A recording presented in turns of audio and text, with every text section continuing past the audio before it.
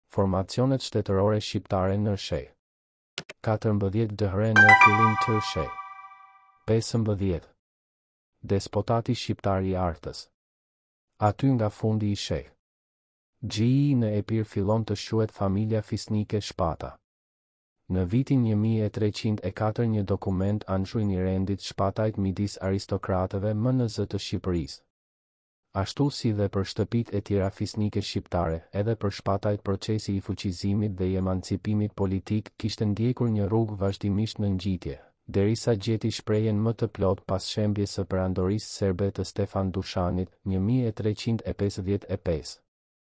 Në atë çast shpatajt e fisnikë të tjerë shqiptarë e shtrinë sundimin e tyre politik në krejt Epirin dhe, në vitet që pasuan, filluan të zgjerohen në krahinat fqinje jugore të Akarnanisë e të Etolisë. Qeveritari serb i Epirit, mbreti Simeon Uroshi, u detyrua të largohej në Thesali, ku zuri vendin e komandantit serb Qezar Preliubit, i vrarë gjatë një përpjekjeje me shqiptarët e atyshëm. Përfaqësues të tjerë të aristokracisë dhe të administratës së vjetër bizantino-serbe gjetën strehim në qytetin e Janinës. Shtrirja e pushtetit të fisnikëve shqiptarë në Epir ndeshi pengesë te pinjolli i fundit i dinastisë së vjetër sunduese të Epirit, despoti Niqifori I I Engjëlli. Në verën e vitit një mijë e treqind e pesëdhjetë e tetë ky u doli përpara forcave shqiptare në vendin e quajtur Akelou, Akarnani. Ushtria e tij, e përbërë pjesërisht prej mercenarëve osmanë, u asgjësua në betejën e përgjakshme që u zhvillua aty e ku vetë despoti bizantin humbi jetën. Pas betejës së Akelout krahinat jugore të Epirit, të Akarnanisë e të Etolisë u përfshinë në kuadrin e dy formacioneve shtetërore shqiptare.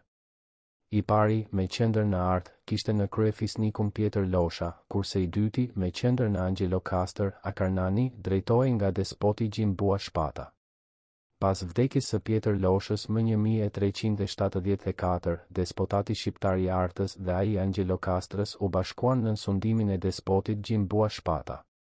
Zotërimet e këtij të fundit përbënin tani një vazhdimësi territoresh prej Gjirit të Korintit, në jug, deri në derdhjen e lumit Akeron, Glyki, në veri, ku puqeshin me zotërimet e Gjon Zenebishit. Megjithatë në pjesën lindore të Epirit mbeti një territor i ngushtë me qendër Janinën, i cili nuk u përfshi në kufijtë e këtyre dy formacioneve shqiptare fqinje. Këtu përfaqësuesit e fisnikërisë e të administratës së vjetër serbo-bizantine të Epirit u përpoqën të organizojnë qëndresën kundër hegjemonisë së krerëve shqiptarë. të mbështetur edhe nga qeveritari i deriparadokohshëm serb i Epirit, Simeon Uroshi, ata mundën të imponojnë si qeveritar të Janinës despotin serb Thoma Preljuboviç. Si djalë i Qezar Preljubit, qeveritarit të Thesalisë të vrarë më një mijë e treqind e pesëdhjetë e pesë nga shqiptarët, Thomai trashëgoi një armiqësi dhe urrejtje të pashuar kundër tyre. Despotati i Janinës ishte mbeturina e fundit e sundimit serb në Epir. Qenia e tij përbënte një rrezik real për formacionet fqinje shqiptare të Gjirokastrës e të Artës, pasi Thoma Preljuboviçi vështronte t'i zgjeronte kufijtë e despotatit të tij pikërisht në dëm të zotërimeve të shpatajve e të zenebishëve. Nga ana tjetër, despoti serb nuk ngurroi të thërriste për ndihmë kundër sundimtarëve shqiptarë reparte serbe, italiane e, ç'ishte më keq, osmane. duke e kthyer Epirin në një fushë beteje ku mercenarët e huaj mbillnin terror e shkatërrime të pafundme. Këto arsye, si dhe arsye të tjera të natyrës ekonomike, Janina ishte një qendër mjaft e pasur ekonomike e tregtare, i futën sundimtarët shqiptarë të Epirit në një konflikt të gjatë të armatosur me despotin e Janinës. Për tre vjet rresht, një mijë e treqind e shtatëdhjetë, një mijë e treqind e shtatëdhjetë e tre, kështjella e Janinës iu nënshtrua rrethimit e sulmeve të njëpasnjëshme të despotit të Artës, Pjetër Losha, e të aleatëve të tij, bashkësive shqiptare të mazarakëve e të malakasëve që banonin përreth Janinës. Megjithëse u detyrua të kërkonte paqe, Thoma Preljuboviçi nuk pushoi së përndjekuri e së tiranizuari popullsinë shqiptare të Janinës e të fshatrave përreth, nga e cila tërhiqte robër e pengje që i mbyllte në burgje të posaçme. Për këtë zell të tij kundër shqiptarëve, bashkëkohësit i ngjitën despotit serb nofkën shqiptarovrasës, Alvanitoktonos. Pas vdekjes së Pjetër Loshës, më një mijë e treqind e shtatëdhjetë e katër, në krye të despotatit të Artës u vu zoti i Angjelokastrës, Gjin Bua Shpata. Në kohën e sundimit të tij, konflikti me despotin serb, Thoma Preljuboviçin, u ashpërsua edhe më. Që në vitin një mijë e treqind e shtatëdhjetë e pesë Gjin Bua Shpata u shfaq me ushtrinë e tij nën muret e Janinës. Qyteti mundi të qëndrojë edhe kësaj radhe falë mureve të tij të papushtueshme. Gjithsesi, i interesuar për pushimin e armiqësive, Thomai i ofroi Shpatës dorën e së motrës, Helenës. Por martesa nuk e fashiti konfliktin midis Gjin Bua Shpatës dhe Thomait. Për më tepër, në vitet që vijuan Janina u bë pre e sulmeve të bashkësisë shqiptare të Malakasëve. Nën komandën e Gjin Fratit këta e sulmuan kështjellën më së pari në vitin një mijë e treqind e shtatëdhjetë e shtatë, por pa mundur ta merrnin atë. Dy vjet më vonë, më një mijë e treqind e shtatëdhjetë e nëntë Malakasët arritën të zinin ishullin në liqen si dhe kullën e brendshme të kështjellës së Janinës. Kësaj radhe në anë të tyre qëndronin edhe pjesëtarë të parisë vendase, përfshi mitropolitin Mateo, përkrahës i Gjin Bua Shpatës. por edhe kësaj radhe shqiptarët dështuan në qëllimin e tyre. Mungesa e mjeteve të mjaftueshme ua bëri atyre të pamundur që të shpërthenin muret e kështjellës, qoftë nga toka e qoftë nga liqeni. Mitropoliti Mateo u detyrua të linte Janinën bashkë me të tjerë dhe të strehohej te Gjin Bua Shpata. Krahas despotit serb të Janinës, formacioni i Shpatajve të Artës u fut në këtë kohë në një konflikt të ashpër me anzhuinët e Napolit, të cilët qysh prej një shekulli vazhdonin të ngulnin këmbë në pretendimet e tyre mbi bregdetin epirot. Ky konflikt u shpreh më së pari në përleshjet e armatosura me forcat e kontit Leonard Toko, që sundonte mbi ishujt e Qefalonisë e Leukadës si vasal i mbretëreshës Xhovana të Napolit. Dokumentet e kohës informojnë se qysh në vitin një mijë e treqind e gjashtëdhjetë konti i Qefalonisë bënte luftë të madhe me despotatin e arbërve. Në vitet që pasuan ndeshja me anzhuinët u ndez edhe më keq. Në vitin një mijë e treqind e shtatëdhjetë e tetë mbretëresha e Napolit organizoi një fushatë të madhe për asgjësimin e despotatit shqiptar të Artës. Bërthama e ushtrisë së grumbulluar prej saj përbëhej nga urdhri i Joanitëve të Rodit, një formacion i famshëm për bëmat e tij luftarake, që ishte futur në shërbim të anzhuinëve të Napolit. Ekspedita anzhuine filloi me marrjen e Naupaktit, Lepantos, kështjella më jugore e Shpatajve, e vendosur mbi bregun verior të Gjirit të Korintit. Prej këndej ajo përparoi drejt veriut e brenda pak kohe qendra e despotatit shqiptar, Arta, u ndodh nën rrethimin e ushtrisë napolitane.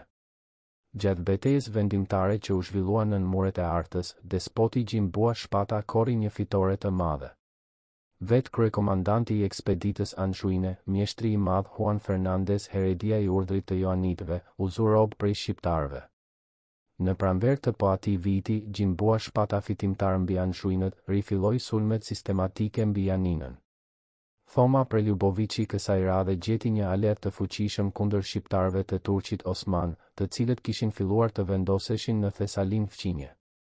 Disa herë brenda viteve një mijë e treqind e tetëdhjetë, një mijë e treqind e tetëdhjetë e katër reparte osmane, të thirrura nga Thomai, kryen inkursione shkatërruese në zotërimet e Gjin Bua Shpatës e në ato të Gjon Zenebishit, duke lehtësuar presionin e tyre mbi Janinën. Me ndihmën e osmanëve, despoti Thoma pushtoi përkohësisht një numër fshatrash rreth Janinës si dhe kështjellën e Paramithisë, Shën Donatit. Gjithsesi, tirani i Janinës ra prej një komploti dhe, i urryer nga të gjithë, vdiq në dhjetor një mijë e treqind e tetëdhjetë e katër. Në vend të tij paria e Janinës e mbreti serb i Thesalisë, Joazaf, thirri e vuri italianin Izau Buondelmonte Acciaiuolin, kunat i kontit Leonard Tocco të Qefalonisë. Ky gëzonte njëherësh mbështetjen e perandorit të Bizantit, të Venedikut, Firences dhe të mbretërisë së Napolit. Marrëdhëniet e shqiptarëve me despotatin e Janinës mbetën të tendosura edhe në kohën e sundimit të Izaut, ndonëse aty nga viti një mijë e treqind e nëntëdhjetë e katër, ky mori për grua të bijën e Gjin Shpatës, Irenën, i nxitur edhe nga arkondët e qytetit. Inkursionet e reparteve osmane, të thirrura nga despoti i ri i Janinës, vazhduan edhe pas këtaj, madje për të siguruar mbështetjen më të madhe të sulltanit osman, despoti Izau u shpall vasal i tij, një mijë e treqind e tetëdhjetë e shtatë. Ndërkohë mbi despotatin shqiptar të Artës qenë intensifikuar edhe sulmet e kontit të Qefalonisë Karl Tokos, nip i Izaut. Në rrethana të tilla të vështira, më njëzet e nëntë tetor të vitit një mijë e treqind e nëntëdhjetë e nëntë vdiq despoti Gjin Bua Shpata burrë i fuqishëm, i admirueshëm e lavdi e Arbërisë, siç e quan atë një kronikë e kohës. Me emrin e tij është e lidhur periudha më e lulëzuar e historisë së despotatit shqiptar të Artës. Zotërimet e shpatajve u ndanë midis të afërmve të tij, që shpeshherë ishin në armiqësi e mëri me njëri-tjetrin. Një mëri e tillë ekzistonte dhe midis Muriq Shpatës dhe Skuro Bua Shpatës, që qeveriste zotërimet jugore të shpatajve. Si vëlla i Gjinit, këtij i takonte të ishte trashëgimtar i ligjshëm i fronit. Por Muriqi, i ri dhe ambicioz, mundi ta mënjanojë kushëririn e tij plak dhe të marrë në dorë drejtimin e principatës. Me ardhjen në pushtet vëmendja e Shpatës së ri u zhvendos nga Lindja, ku despotët e Janinës dhe osmanët e Thesalisë kishin qenë kujdesi kryesor i paraardhësit të tij të madh. Me komandantët osmanë të Thesalisë Muriqi nuk e pati të vështirë të gjente një modus vivendi, sidomos pas katastrofës që Sulltan Bajaziti pësoi nga mongolët e Timur Lengut në Betejën e Ankarasë, një mijë e katërqind e dy. U shtensionuan edhe marrëdhëniet me despotin Ezau të Janinës që ishte njerk i Muriqit dhe që për më tepër kërkoi dorën e vajzës së Muriqit për djalin e tij të lindur nga martesa me shqiptaren Evdoqia Balsha, vajzë e Gjergjit i Balsha. Në këtë mënyrë vëmendja e Muriq Shpatës u përqendrua nga rreziku që i vinte zotërimeve të tij nga konti i Qefalonisë Karl Tokoja. Për sa kohë në krye të principatës kishte qenë Gjin Bua Shpata, Tokoja kishte dalë gjithnjë i mundur nga ballafaqimi me shqiptarët. Këta, madje, ishin në gjendje të organizonin me anije sulme mbi ishujt e tij të Qefalonisë dhe Leukadës, gjë që e kishte shtyrë kontin të kërkonte ndihmën e Napolit e të Venedikut. por në vitet e para të sundimit të Muriq Shpatës, raporti i forcave paraqitej i ndryshuar në favor të Tokos. Grindjet dhe pakënaqësitë ndaj sundimtarit të ri të Artës shtynë mjaft feudalë shqiptarë dhe krerë bashkësish nga Parga, Paramithia, Margëlliçi e Janina, përfshirë bashkësitë e mëdha të Mazrekëve e Malakasëve, të dorëzoheshin përpara dhuratave dhe premtimeve që u drejtoi atyre me bollëk Konti Karl Toko. Në këtë mënyrë me një ushtri, lulen e së cilës e përbënin luftëtarët shqiptarë, ku shquheshin vëllezërit Muriq e Dhimo Bua, si dhe me ndihmën e një flote të ofruar nga mbreti i Napolit, Karl Tokoja, filloi t'i rrëmbejë Muriq Shpatës njërin zotërim pas tjetrit. Si pasardhës i kontëve nga familja Orsini të Qefalonisë, ai pretendonte të bëhej, ashtu siç qenë bërë ata një shekull më parë, despot i krejt Epirit. Në këtë mënyrë, me luftë dhe më shumë me dredhi, Karl Tokoja u rrëmbeu shpatajve një sërë kështjellash, fillimisht në jug të Gjirit të Artës, si Katohin, Varnakun, Kandilen, Anatolikon e Dragomestin, një mijë e katërqind e një, një mijë e katërqind e katër. Prej këndej ai filloi sulmet dhe plaçkitjet në territorin e Angjelokastrës e të Artës. Shumë shpejt Muriq Shpata u detyrua të lëshojë kështjellat e Rinjasës e Ajtoit, që siguronin mbrojtjen e Artës. Gjatë një beteje me forcat e Tokos, u plagos rëndë e më tej vdiq edhe vëllai i legjendarit Gjin Bua Shpata, Skuroi, i cili të paktën në çastet e fundit gjeti ngushëllim kur pa se Muriq Shpata me forcat e tij po vraponte t'i vinte në ndihmë. I biri i Skuros, Pal Shpata, në pamundësi t'i ruante zotërimet që i la i ati në jug të gjirit të Artës, nxitoi t'ia ofrojë ato Venedikut. Më një mijë e katërqind e dy ai i propozoi këtij lëshimin e kështjellës së rëndësishme bregdetare të Lepantos si dhe vetë kryeqendrën e vet, Angjelokastrën. Ndërsa mori në dorëzim të parën, një mijë e katërqind e shtatë, kundrejt një shpërblimi, Republika e Venedikut u mor vesh me Karl Tokon që e dyta, Angjelokastra, t'i kalonte këtij të fundit, një mijë e katërqind e tetë. Në këtë mënyrë shpatajt humbën përfundimisht zotërimet në jug të Gjirit të Artës, në Etoli e në Akarnani. Në kushtet e dobësimit e të përçarjes së krerëve shqiptarë, Konti Karl Toko nuk e pati të vështirë të zinte vendin e despotit Ezau të Janinës, kur ky i fundit vdiq një mijë e katërqind e njëmbëdhjetë. Krahas elementëve të Parisë së qytetit, ku u shqua greku Simon Stratigopoulos dhe dhëndri i tij, serbi Stefan Voislavi, dorëzimin e Janinës në duar të Karl Tokos e përkrahën edhe mjaft krerë e bashkësi shqiptare, brenda e jashtë qytetit, të cilët ai i kishte joshur me dhurata e premtime. Tashmë i pafuqishëm ndaj ngjitjes së rivalit të tij, Muriq Shpata nuk qe në gjendje të shfrytëzonte momentin e favorshëm pas thyerjes së ushtrive të Tokos nga Gjon Zenebishi në betejën e Kranesë, afër Mesopotamit. Një mijë e katërqind e njëmbëdhjetë Më një mijë e katërqind e pesëmbëdhjetë ai vdiq duke ia lënë barrën e drejtimit të asaj që kishte mbetur nga principata e dikurshme e Gjin Bua Shpatës, vëllait të tij, Jakupit, që kishte kaluar në fenë islame. Jakupi tregoi që në fillim një dinamizëm e trimëri që s'e kishin karakterizuar vëllanë e tij. Me të u bashkuan mjaft edhe nga krerët apo bashkësitë shqiptare që ishin hedhur në anën e Karl Tokos, siç qe, PS, prisi i shquar Muriq Bua. Në pamundësi për ta thyer sundimtarin e ri shqiptar në fushë të hapur, Karl Tokoja i përgatiti atij një pritë në kështjellën e Vombljana-s, afër Artës. I ftuar nga kështjellari i saj, njeri i Karl Tokos, gjoja për ta marrë në dorëzim kështjellën, Jakup Shpata u sulmua tradhtisht nga forcat e Tokos, ndërsa u qe afruar me trupat e tij mureve të saj. Jakupi vdiq me shpatë në dorë mes luftëtarëve të tij. Me vrasjen e tij u shënua dhe fati i Artës dhe i gjithë zotërimit të Shpatajve. Më katër tetor një mijë e katërqind e gjashtëmbëdhjetë Karl Tokoja hyri në Artë. Pinjollët e fundit të Shpatajve ose pranuan të hyjnë në shërbim të Karl Tokos, ose emigruan drejt Moresë dhe ishujve të Jonit. Principata e Zenebishëve Emri i Zenebishëve, si një ndër familjet fisnike më të shquara të Shqipërisë së Poshtme, përmendet krahas dyerve më në zë shqiptare në një dokument të vitit një mijë e treqind e katër. Shkëlqimin më të madh kjo familje e arriti pas gjysmës së dytë të shek. Xhiv, kur në krye të saj ishte sebastokratori Gjon Zenebishi, një mijë e katërqind e tetëmbëdhjetë. Kryeqendra e këtij të fundit ishte Kështjella e Gjirokastrës, e cila përmendet për herë të parë pikërisht në këtë kohë si rezidencë e Zenebishëve. Në vitet shtatëdhjetë të shek. Xhivë zotërimi i Zenebishëve përfshinte veç Gjirokastrës dhe rrethet e saj, Luginën e Drinos, Delvinën dhe një pjesë të mirë të zonës së pasur të Vagenetisë, Çamërinë e Sipërme, deri në derdhjen e poshtme të lumit Gliki, ku zotërimet e Gjon Zenebishit kufizoheshin me ato të vjehrrit dhe aleatit të tij, Gjin Bua Shpatës së Artës.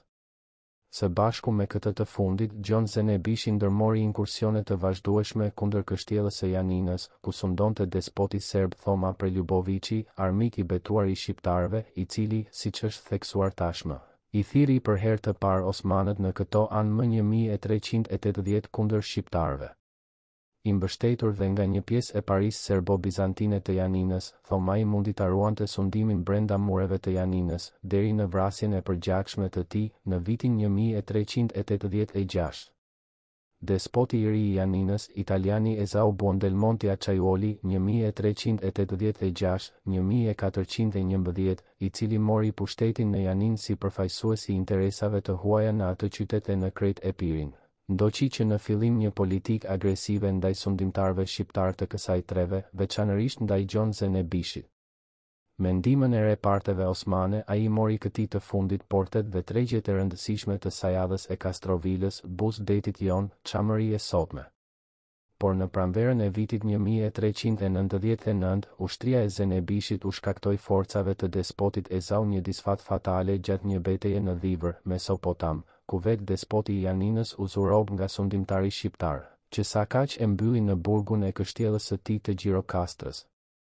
Të gjithë aleatët e Ezaut nga komuna e Firences që e kishte qytetar të vetin, mbretëria e Napolit, Republika e Venedikut e deri te komandanti osman i Thesalisë, ndërhynë te Gjoni për lirimin e tij.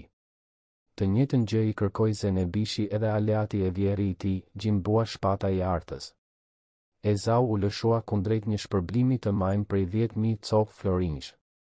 Gjithsesi, ai pushoi së qeni një shqetësim për zotërimet e Zenebishit, i cili shtiu përsëri në dorë limanet dhe tregjet bregdetare nga Sajadha e Kastrovila e deri në Pargë.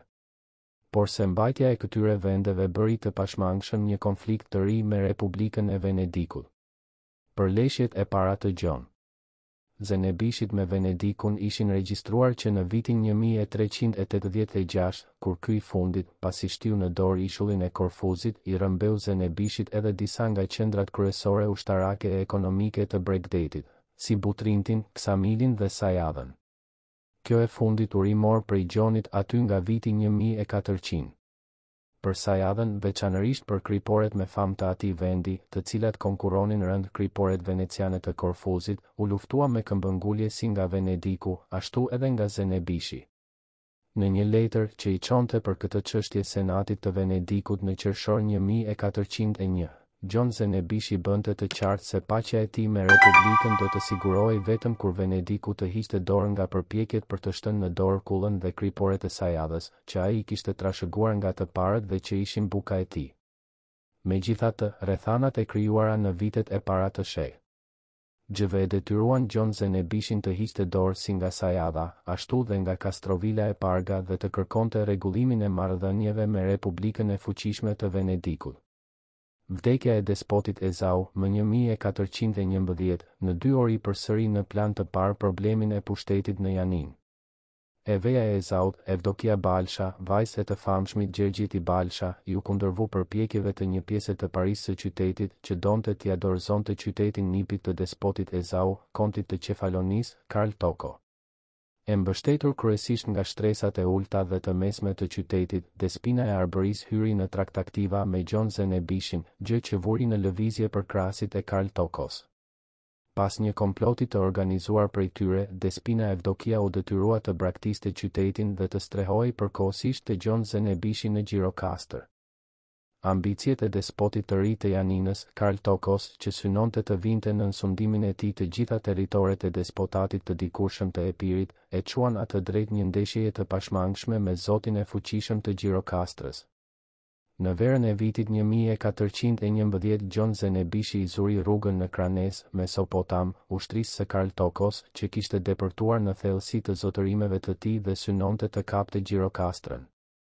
Në betejën e ashpër të zhvilluar në atë vend, forcat e Zenebishit arritën një fitore të bujshme duke e asgjësuar krejtësisht ushtrinë e Tokos.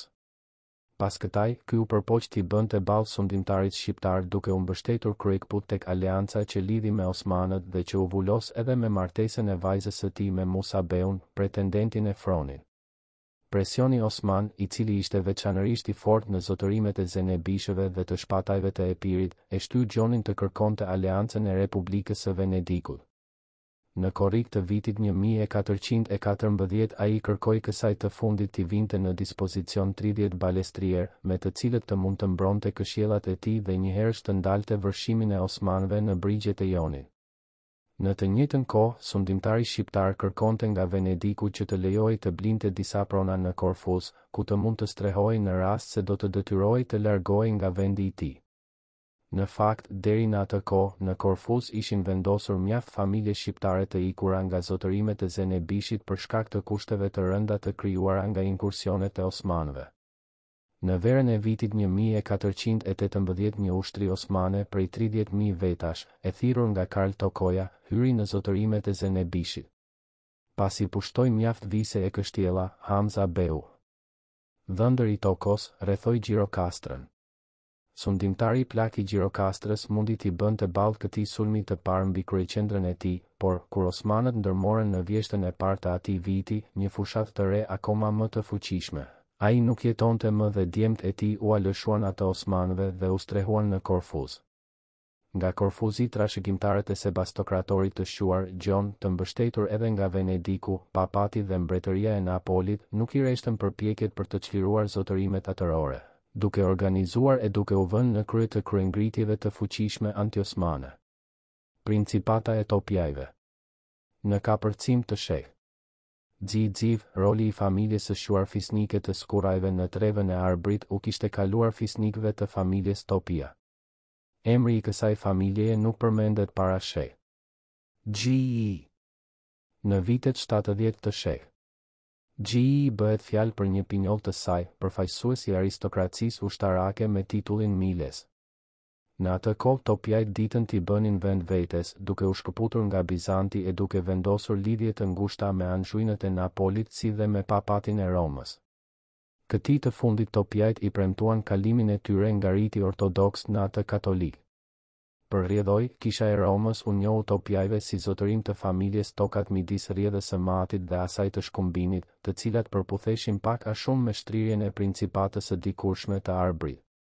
Të drejtat e Topjajve mbi këto vise u konfirmuan më një mijë e treqind e tridhjetë e tetë edhe nga anxhuinët e Napolit, të cilët e konsideronin veten kryezot të Durrësit e të Arbrit si dhe Topjajt vasalë të tyre.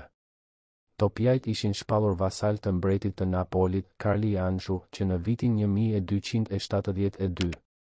Megjithatë varësia e tyre nga oborri i Napolit mbeti thjesht formale. Si mbreti Karli I, ashtu dhe pasardhësit e tij, Karli I e Roberti I Anxhu, ankoheshin vazhdimisht në aktet e tyre për mosbindjen madje edhe për rebelimet e vazhdueshme të topjajve dhe të krerëve të tjerë shqiptarë kundër pushtetit sovran të tyre. Megjithatë, të ndërgjegjshëm se s'do të mund ta ruanin autoritetin e tyre mbi Durrësin dhe Arbrin, anxhuinët këmbëngulnin t'i mbanin afër topjajt, qoftë duke u falur herë pas here fajet, qoftë duke u dhënë edhe provizione, para, të mëdha vjetore, siç vepruan më një mijë e treqind e tridhjetë e tetë me kontin Tanush Topia. I vëllai i këtij të fundit, Domeniku, ishte klerik i lartë dhe në vitin një mijë e treqind e tridhjetë e gjashtë mbreti Robert Anxhu e kishte tërhequr në oborrin e Napolit si kapelan e këshilltar të tij. Marrëdhëniet e Topiajve me Anxhuinët e Napolit pësuan një ngrirje të fortë në kohën e sundimit të Andreas, djalit të Tanushit. Ndonëse qe martuar me një vajzë jashtë martese të mbretit Robert, Andre Topia tregohej fare i pabindur ndaj tij, aq sa Anxhuini vuri njerëz dhe e vrau. Zotërimi i Topiajve arriti fuqinë dhe shkallën më të lartë të organizimit në kohën e Princit Karl Topia, djali i madh i Andreas, që erdhi në fuqi në vitin një mijë e treqind e pesëdhjetë e nëntë. Brenda viteve pesëdhjetë të sheh. XIV ai arriti të konsolidonte në luftë me rivalët e shumtë pushtetin e vet në trevën e Arbrit. Ashtu si paraardhësit e vet, Karli shfrytëzoi mjeshtërisht për këtë qëllim lidhjet e hershme të familjes së tij me Anxhuinët e Napolit. Ai nuk ngurronte të vinte në dukje lidhjet e gjakut që kishte me këta të fundit nga e ëma. Në këtë kuptim ai i shtoi stemës familjare të Topiajve. që paraqiste një luan edhe simbolin e anxhuinëve, zambakun. Pavarësisht se u mëshonte lidhjeve të veçanta të Topiajve me kryezotërit e Napolit, Karli kishte vendosur t'u shkëpuste këtyre qytetin e Durrësit. Më një mijë e treqind e gjashtëdhjetë e dy forcat e tij sulmuan Durrësin nga toka dhe nga deti. Ndonëse nuk u mor dot, qyteti u detyrua t'i paguajë Topisë një tribur vjetor, i cili nxirrej nga rritja e taksave mbi tregtarët e huaj që vizitonin Durrësin. Sulmi i Karl Topisë mbi Durrësin ngjalli shqetësim sa në bashkësinë e këtij qyteti, që i trembej pushtetit feudal, aq dhe te mbretëresha Xhovana e Napolit dhe te Republika e Venedikut. Kjo e fundit nuk mund të pajtohej me faktin që princi shqiptar zotëronte tashmë një flotë ushtarake, të ankoruar në kepin e Rodonit në veri dhe në kepin e Melit, Caput Meliarum, në jug të Durrësit, me të cilën ai mund të kontrollonte ose të dëmtonte trafikun e anijeve veneciane nëpër Adriatik. Ndaj në maj të vitit një mijë e treqind e gjashtëdhjetë e katër senati i Venedikut e urdhëronte kapitenin e flotës së Adriatikut që të pengonte çdo aksion të flotës së Karl Topisë dhe, në rastin ekstrem, t'i kapte anijet shqiptare dhe t'i digjte ato, si dhe të shkatërronte bazën e tyre në kepin e Melit.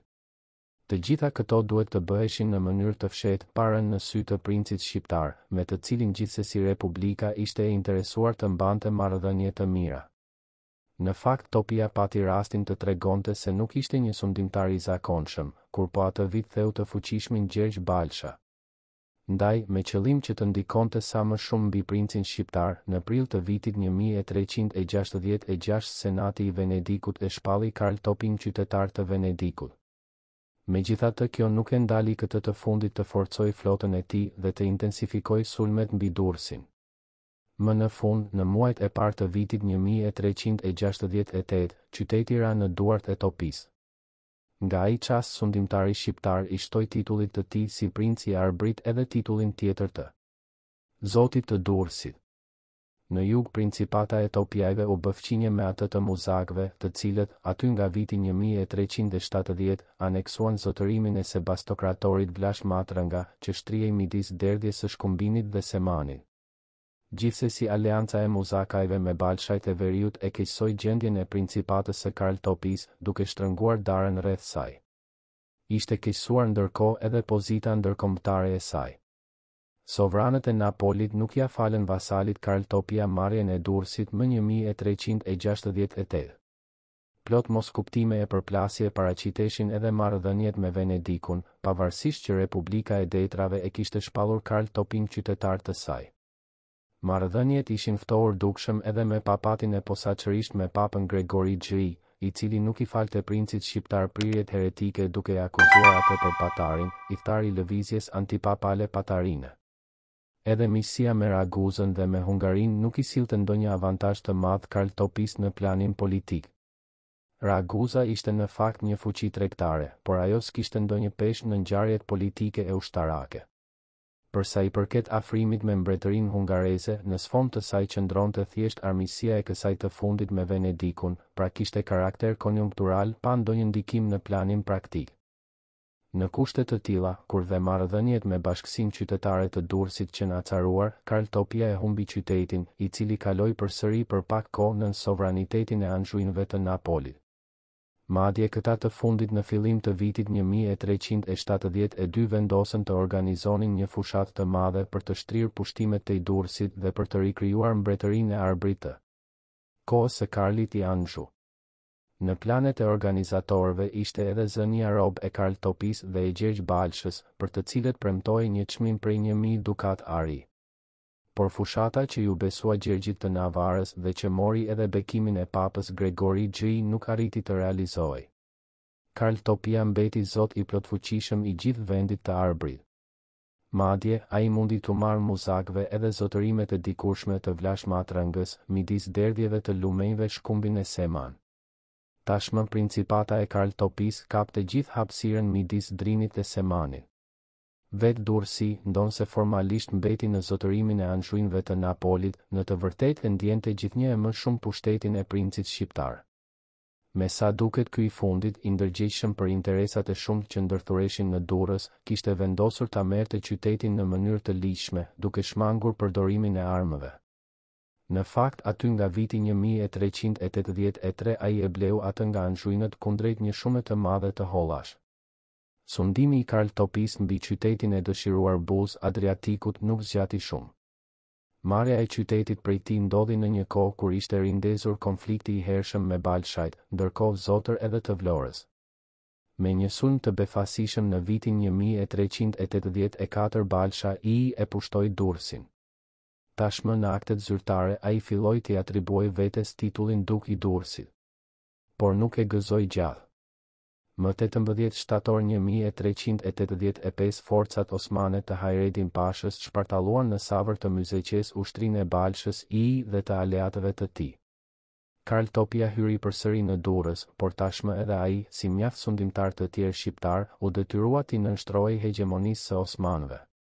Në përpjekje për t'i shpëtuar kësaj të fundit, Topia u kthye nga Venediku.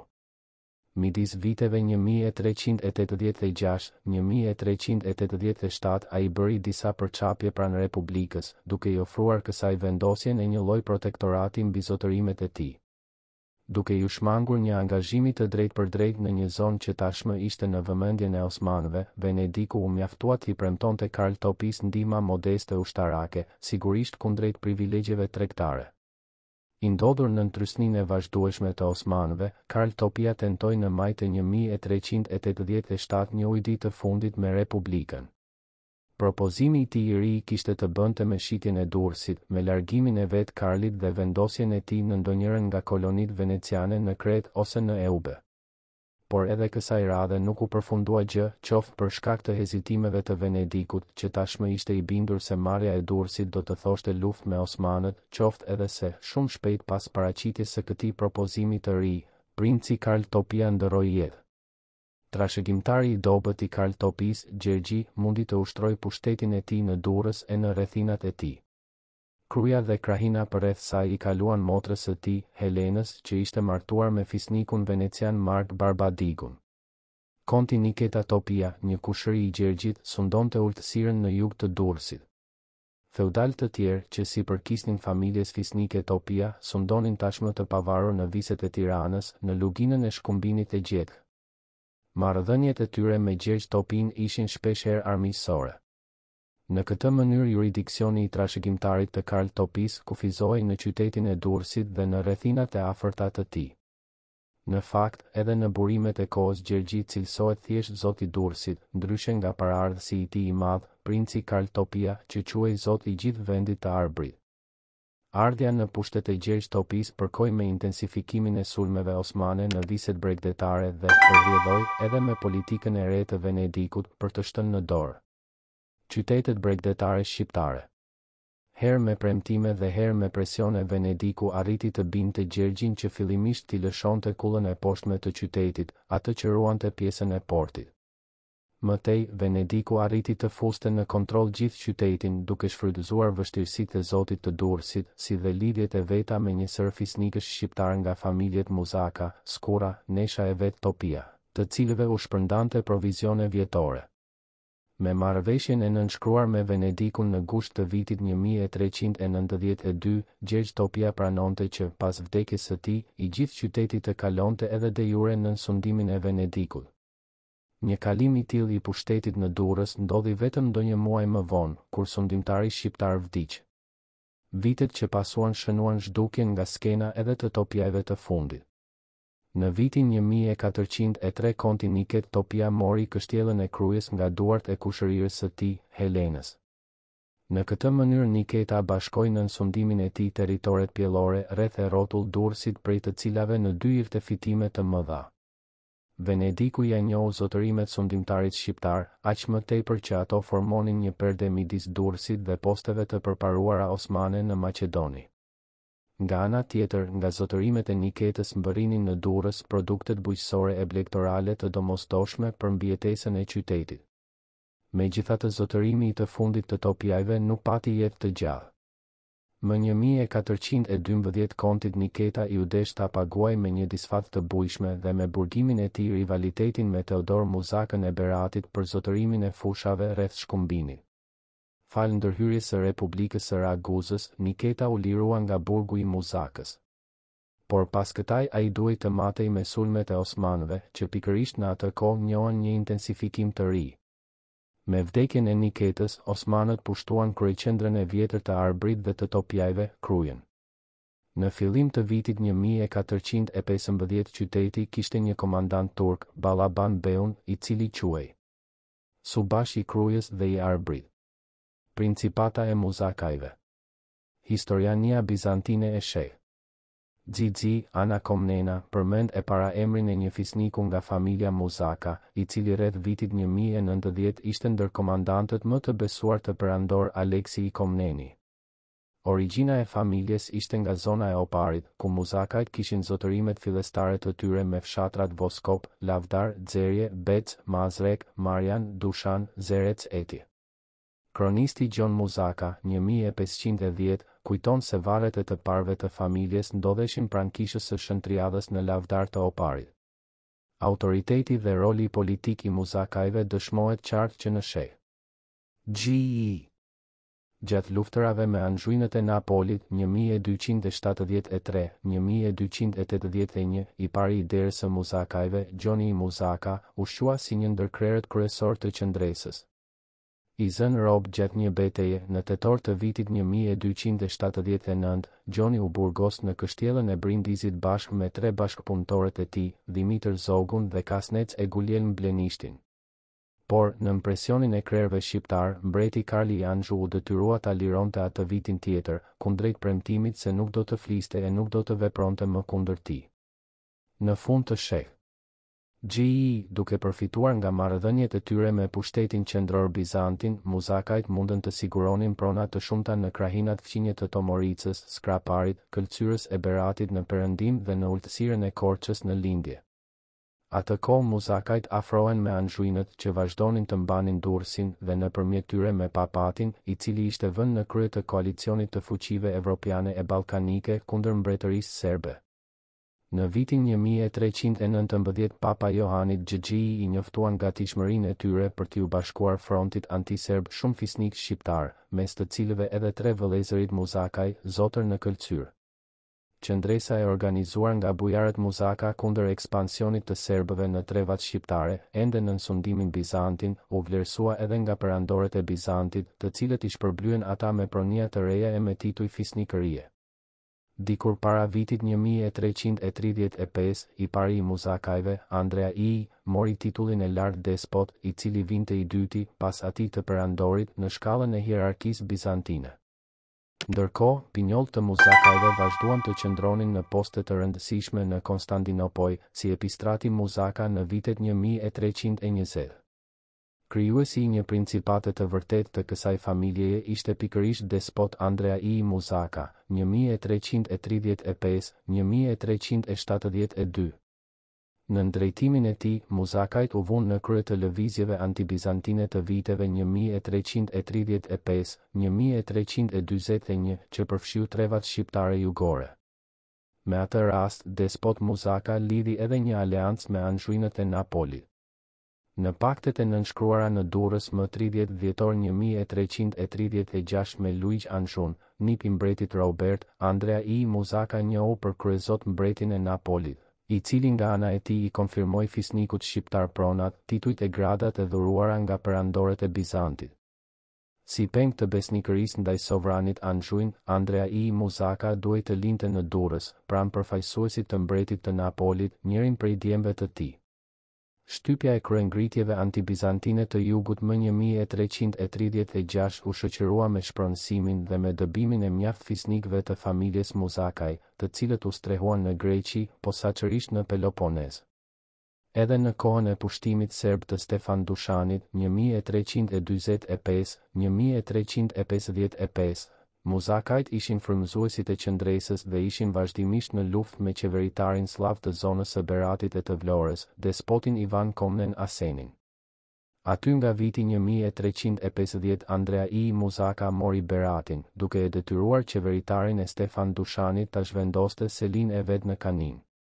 Pushteti i Muzakajve u shtri ndërkohë në Myzeqe, që e mori këtë emër pikërisht prej tyre, Muzakia vendi i Muzakajve. Ndikimi i Muzakëve u bë i ndjeshëm edhe në qytetin e Durrësit, ku despot Andrea zotëronte pasuri të patundshme dhe ku marrëveshja e vitit një mijë e treqind e tridhjetë e gjashtë me Anxhuinët e lejonte të qëndronte dhe të lëvizte lirisht në atë qytet.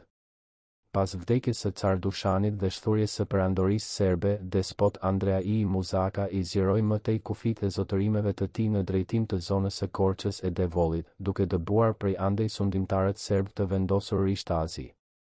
Nga fundi i viteve gjashtëdhjetë ai aneksoi zotërimet e zotit të Karavastasë, sebastokratorit Vlash Matranga, pushtoi kështjellën e rëndësishme të Bregut, doli mbi Shkumbin e mori tokat e Gosës e të Garunjës, duke u ballafaquar drejtpërsëdrejti me princin e fuqishëm të Arbrit, Karl Topinë. Po në atë kohë Andrea II Muzaka mori Vlorën e Kaninën nga duart e sebastit Aleksandër, që sundonte aty pas vdekjes së despotit Ivan Komnen. Megjithatë, despot Muzaka shumë shpejt ia kaloi në formë paje këto dy qytete vëllait të vogël të Balshajve, Balshës II, pas martesës së këtij me vajzën e tij, Komitën. Siç duket, në bazë të aleancës midis këtyre dy familjeve fisnike shqiptare qëndronte rivaliteti i tyre i përbashkët me Topiajt e veçanërisht me sundimtarin serb Vukashin, atë kohë zot i Kosovës e i gjithë Maqedonisë Perëndimore, deri në Kostur. Pikërisht me ndihmën e Balshajve, despot Andrea II Muzaka theu më një mijë e treqind e shtatëdhjetë pranë Kosturit ushtrinë e krajl Vukashinit. Kjo fitore u përshëndet edhe nga perandori i Bizantit, Johani V Paleologu, i cili me këtë rast i konfirmoi Andrea II Muzakës titullin e despotit, duke i dhuruar fronin bashkë me shenjën përkatëse dalluese, shqiponjën me dy krerë e me yll në mes. Kjo zëvendësoi emblemën e hershme të Muzakajve, e cila paraqiste një burim që shpërthente nga toka duke u ndarë më dysh. Bashkë me konfirmimin e titullit despot, perandor Johani V Paleologu i kaloi Andrea II Muzakës edhe të drejtat mbi Kosturin. Ndonjë vit më vonë, me ndihmën e Balshajve e të bujarëve të tjerë shqiptarë, despot Andrea i rrëmbeu Mark Krajleviçit, të birit të Vukashinit, qytetin e Kosturit. Në këtë mënyrë, në fund të jetës së tij, despoti plak, Andrea II Muzaka, kishte përfshirë në principatën e tij Myzeqenë, Beratin, Tomoricën, Skraparin, Këlcyrën, Përmetin, Oparin, Devollin, Kolonjën e Kosturin. Megjithatë, në krahun perëndimor të zotërimeve të Muzakajve, ndihej fort hegjemonia e Balshëve të fuqishëm, të cilët nga Vlora e Kanina ushtronin ndikim të madh në zonat përreth, deri në Berat.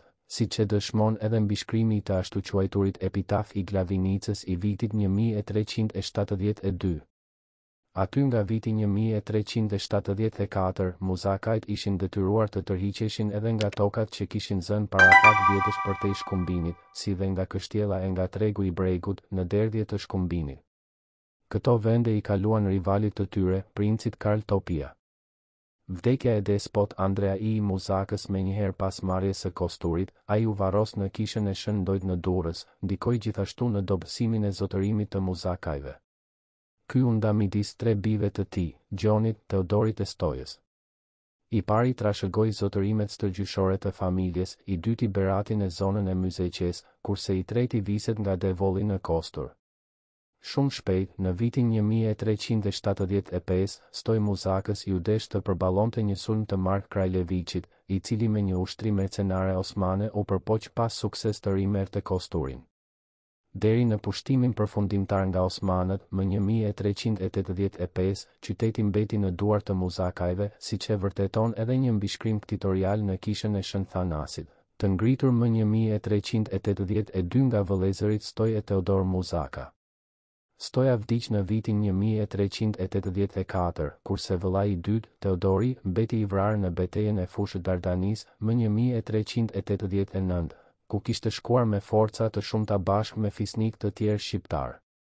Vëllai i madh Gjini, pasi kishte kaluar mjaft vjet në burgun e Kaninës, ku e kishte mbyllur i kunati, Balsha I, vdiq edhe ai para vitit një mijë e treqind e nëntëdhjetë në një çast rrëmuje e shthurjeje të principatës. Osmanët tashmë shfaqeshin rregullisht në zotërimet e tyre dhe në zonën e Korçës, ata ishin bërë zotër realë të vendit. Zotërimet e Muzakajve u rrudhën kryesisht në viset malore. Mjaft pinjollë të tyre, si djali i madh i Gjinit, Andrea, ishin vendosur në Durrës ku ishin vënë në shërbim të Venedikut. Periudha e shkurtër e rimëkëmbjes së zotërimit të Muzakajve pas disfatës së Osmanëve në Betejën e Ankarasë, një mijë e katërqind e dy, lidhet me emrin e Teodorit II Muzaka, djalit të Andresë. Ky për. disa vjet arriti ta shtrijë përsëri zotërimin e Muzakajve në fushën e Myzeqesë, duke ringjallur për këtë konfliktin e vjetër me Topiajt, posaçërisht me kontin Niketë Topia, i cili gjatë një përpjekjeje më një mijë e katërqind e dymbëdhjetë ra rob i Muzakës. Me rifillimin e sulmeve osmane zotërimi i Muzakajve u prek rëndë. Më një mijë e katërqind e shtatëmbëdhjetë, njëherësh me Vlorën, ra edhe Berati. Teodor Muzaka u kthye nga ajo kohë në vasal të sulltanit dhe pasardhësit e tij me përkrahjen e osmanëve apo të Venedikut, mbajtën një minimum të principatës së dikurshme derisa pas rënies së Shkodrës, më një mijë e katërqind e shtatëdhjetë e tetë, i fundi i Muzakajve të krishterë, Gjon Muzaka, autori i njohur i gjenealogjisë së shtëpisë Muzaka, një mijë e pesëqind e dhjetë, e la vendin dhe u vendos në mbretërinë e Napolit. Shteti i Arianitëve. Arianitët ishin një familje e vjetër fisnike. Zotërimet e tyre shtriheshin përgjatë luginës së Shkumbinit e rrugës mbretërore Egnatia dhe në lindje arrinin së paku deri në afërsi të Manastirit. Në burimet historike emri i familjes fisnike të Arianitëve haset për herë të parë në shek. XI në veprën e Gjergj Kedrenit Përmbledhje historish. Ai tregon se në fillim të shek. XI, një mijë e një, një mijë e tetëmbëdhjetë, Perandori i Bizantit emëroi Patricin David Arianitin si strateg të Selanikut dhe, më pas, si strateg të Shkupit. Ai luftoi kundër bullgarëve në Strumicë e në Shkup. Edhe djali i tij, Konstandini, përmendet në vitet një mijë e dyzet e nëntë, një mijë e pesëdhjetë si ushtarak në shërbim të Perandorisë Bizantine. Në një marrëveshje që Karli I Anzhu lidhi me disa fisnikë shqiptarë në fund të shek. XIII një mijë e dyqind e shtatëdhjetë e katër, përmendet ndër këta edhe Sebast Aleks Arianiti. Emri i Arianitëve do të vazhdonte të ishte i pranishëm edhe më shumë nëpër dokumente të shek. XIV, në dy dokumente të vitit një mijë e treqind e katër të princit të Tarentit, Filipit, dhe të mbretit të Sicilisë, Karlit I, ndër emrat e disa familjeve fisnike shqiptare që u njiheshin privilegjet e mëparshme, është shënuar edhe emri i Arianitëve. Në një letër të vitit një mijë e treqind e nëntëmbëdhjetë, që Papa Johani XXII ua drejtoi disa fisnikëve shqiptarë, është shënuar emri i protolegatorit Guljelm Arianiti. Në epitafin e Glavinicës, të qëndisur në vitin një mijë e treqind e shtatëdhjetë e tre, gjendet edhe emri i qëndistarit Gjergj Arianiti. Për këto figura me mbiemrin Arianiti nuk mund të krijohet një lidhje e sigurt dhe të pohohet se domosdo ata i përkisnin të njëjtit trung familjar. Sidoqoftë, nëpërmjet tyre del qartë se Arianitët ishin një familje fisnike e vjetër e Shqipërisë qendrore, nga më të njohurat dhe me ndikim të veçantë në jetën politike të vendit. Rol pozitiv në këtë drejtim kishte zotërimi e kontrolli prej Arianitëve i segmenteve të rëndësishme të rrugës mbretërore, Egnatia, nëpër të cilën lëviznin karvane të shumta për tregtimin e drithit, të kripës e të mallrave të tjera. Për zotërimin e kësaj rruge tregtare shumë të rëndësishme, Arianitët duhet të kenë bashkëpunuar me Pavël Kurtikun, zotërimet e të cilit gjendeshin në krahinat përgjatë rrjedhjes së mesme të lumit Shkumbin, si dhe me Andre Gropën, sundimtarin e qytetit të Ohrit. Pozicioni mbizotërues i kështjellës së Ohrit mbi tërë rajonin e një liqeni shumë të pasur me peshk të cilësisë së lartë, kishte bërë që zotërimi i tij të ishte në qendër të aksioneve politike e ushtarake të zotërve të rajoneve pranë tij. Veprimtaria politike e Arianitëve do të pasqyrohet më mirë në dokumentet e shek. XV, kur ata, prej pushtimeve osmane, humbën rajonet e pasura lindore dhe filluan të ndiqnin një politikë më aktive, sidomos qysh nga vitet tridhjetë e më pas, kur Gjergj Arianiti korri një varg fitoresh kundër ushtrive osmane. Krahas mbiemrit Arianiti kjo familje fisnike përmendet në burimet historike edhe me emra të tjerë familjarë, si Komneni, Golemi, Topia, Shpata e Çermenika, si dhe me disa tituj fisnikërie. Titujt ishin të trashëguar dhe dëshmonin për lidhjet krushore që kishin krijuar arianitët me familjet e tjera fisnike, duke përfshirë edhe atë perandorake të Bizantit, siç e tregon mbiemri Komneni. Si familje sundimtare arianitët kishin edhe simbolet e veta. Shqiponja dykrenare ishte në stemën e tyre. Në një dokument të kohës tregohet se Gjergj Arianiti kishte porositur në Raguzë që të thurej flamuri i tij. Pema gjenealogjike e arianitëve nuk mund të ndërtohet saktësisht që nga periudhat më të hershme, kur ata përmenden për herë të parë. Sipas autorëve të vjetër shqiptarë, Marin Barlecit e Gjon Muzakës, i ati i Gjergj Arianitit ka qenë Komnen Arianiti. Ky qe martuar me vajzën e Nikoll Sakatit, që kishte edhe mbiemrin Zaharia, zot i qytetit port të Buduas. Komnen Arianiti pati tre djem, Gjergjin, Muzakën dhe Vladanin, si dhe një vajzë që u martua me Pal Dukagjinin. Muzak Arianiti kishte vetëm një djalë, Moisiun, bashkëluftëtarin e njohur të Skënderbeut, që njihet kryesisht me mbiemrin Golemi, Moisi Golemi.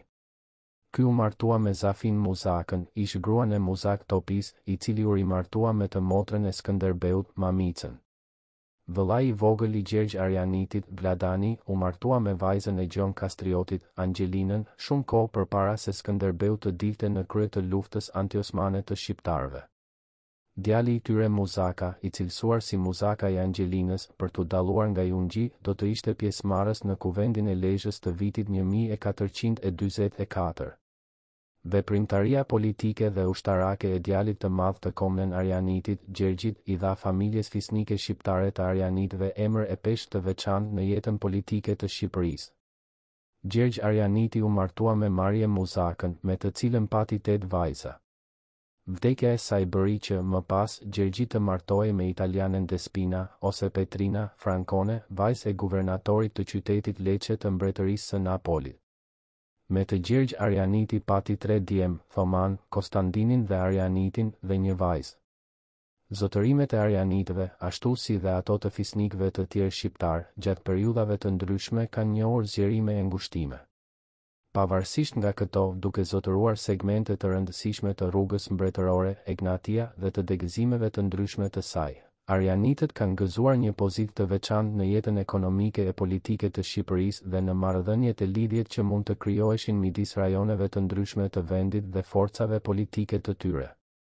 Dëshmi e kësaj janë edhe lidhjet e shumta martesore të arianitëve me zotërit e tjerë të viseve shqiptare që ishin kufitare me ato të arianitëve si muzakajt e kastriotët apo edhe më të largëta si dukagjinët e deri me despotin serb, Stefan Brankoviçin, kur ky, pas pushtimit të despotatit të Rashës prej osmanëve, u vendos në vitin një mijë e katërqind e pesëdhjetë e nëntë në Krujë, ku qëndroi për disa vjet pranë Skënderbeut dhe u martua me një vajzë të Gjergj Arianitit.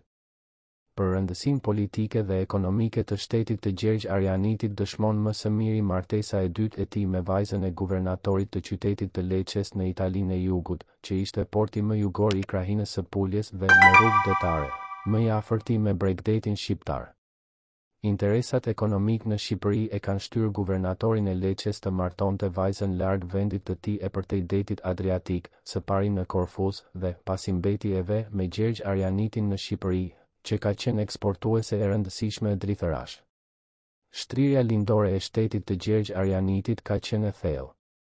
Ajo i ka përfshirë, ose së paku ka qenë kufitare me fushat e Manastirit e të Follorinës, që ishin rajone të prodhimit të bollshëm të drithërave, ku çmimi i shitjes së tij ka qenë më i ulëti se në rajonet e tjera të prodhimit të tij në Shqipëri dhe shumë më i ulët se çmimi i shitjes në Itali. Gjithashtu nën zotërimin e arianitëve ka qenë, në mos tërësisht, pjesërisht, rajoni i liqenit të Ohrit, prej të cilit siguroheshin të ardhura shumë të mëdha nga peshkimi dhe nga eksportimi i gjerë i peshkut të thatë të cilësisë së lartë, artikull ushqimor ky që ishte shumë i parapëlqyer nga banorët e rajoneve të tjera. Nën zotërimin e arianitëve mund të kenë qenë për një kohë edhe qytetet e Manastirit e të Follorinës, para se të binin nën pushtimin osman. Në këtë rajon arianitët kanë zotëruar kështjellën e Sopotnicës, Sfetigradi, që osmanët e ripagëzuan me emrin Demir Hisar, kështjellë në një pozicion kyç, nga mund të kontrolloheshin disa rrugë tregtare shumë të rëndësishme.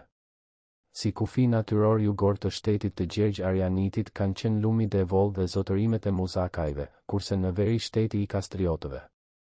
Në perëndim arianitët kanë pasur dalje të gjerë në detin Adriatik në jug të Durrësit dhe në rajonin e Myzeqesë. Gjergj Arianiti kërkonte të kishte nën zotërimin e tij edhe Vlorën e Kaninën bashkë me rrethinat e tyre, që formonin rajonin bregdetar shqiptar, i cili, në rrugë detare, ishte më afër bregdetit italian. Këto synime të Gjergj Arianitit kanë zënë vend në aktet zyrtare të marrëdhënieve të tij me Mbretërinë e Napolit. Gjurmë të tyre mbetën edhe pas vdekjes së Gjergjit. Një djalë dhe një nip i tij ushtruan detyrën e funksionarëve të lartë osmanë në rajonin e Vlorës. Në një dokument të fundit të shek. XV, ky rajon është shënuar si pjesë e Arbërisë së Arianitit, emërtim i përdorur krahas Arbërisë së Skënderbeut. Balshajt dhe përpjekjet për një shtet të bashkuar shqiptar. ndër principatat e pavarura shqiptare që lulëzuan pas mesit të shek. XIV, më e rëndësishmja ishte ajo e familjes Balsha me origjinë nga qyteza e Balës, në afërsi të qytetit të Shkodrës. Gjatë pushtimit serb të atyre anëve, emri i kësaj familjeje mbetet në errësirë.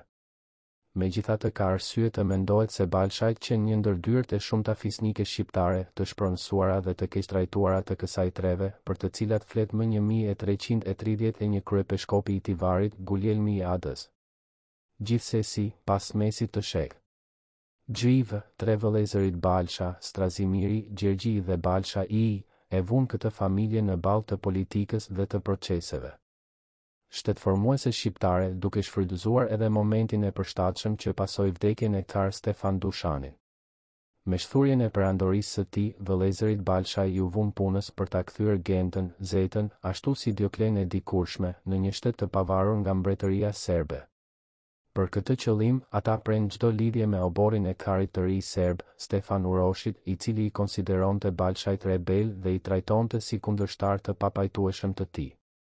Kundër sundimtarëve shqiptarë të Gentës, ai u përpoq të nxiste sundimtarët sllavë si dhe Republikën e Venedikut, e cila i druhej fuqizimit të Balshajve dhe sidomos kthimit të principatës së tyre në një principatë detare.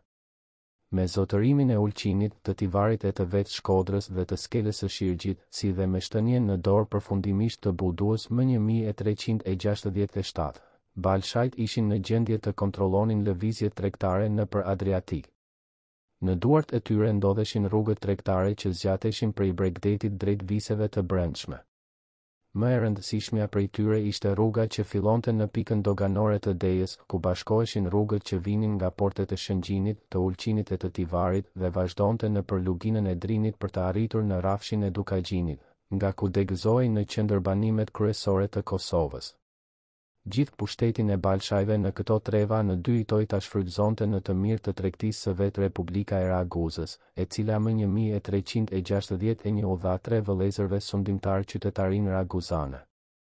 Të njëjtin hap e kreu një vit më vonë edhe Republika e Venedikut, e cila Strazimirin, Gjergjin I dhe Balshën I i pranoi si qytetarë të vet megjithatë, Republika e Shën Markut vazhdoi të ndiqte me mosbesim fuqizimin e zotërve shqiptarë të Gentës dhe u mundua të krijonte, fshehurazi, një grupim kundërshtar të Balshajve, me krerët shqiptarë nga familjet Gjurashi, Crnojeviçi, Dukagjini, Zaharia, Dushmani, Shestani, të cilët Balshajt i kishin privuar nga pushteti dhe nga privilegjet e dikurshme.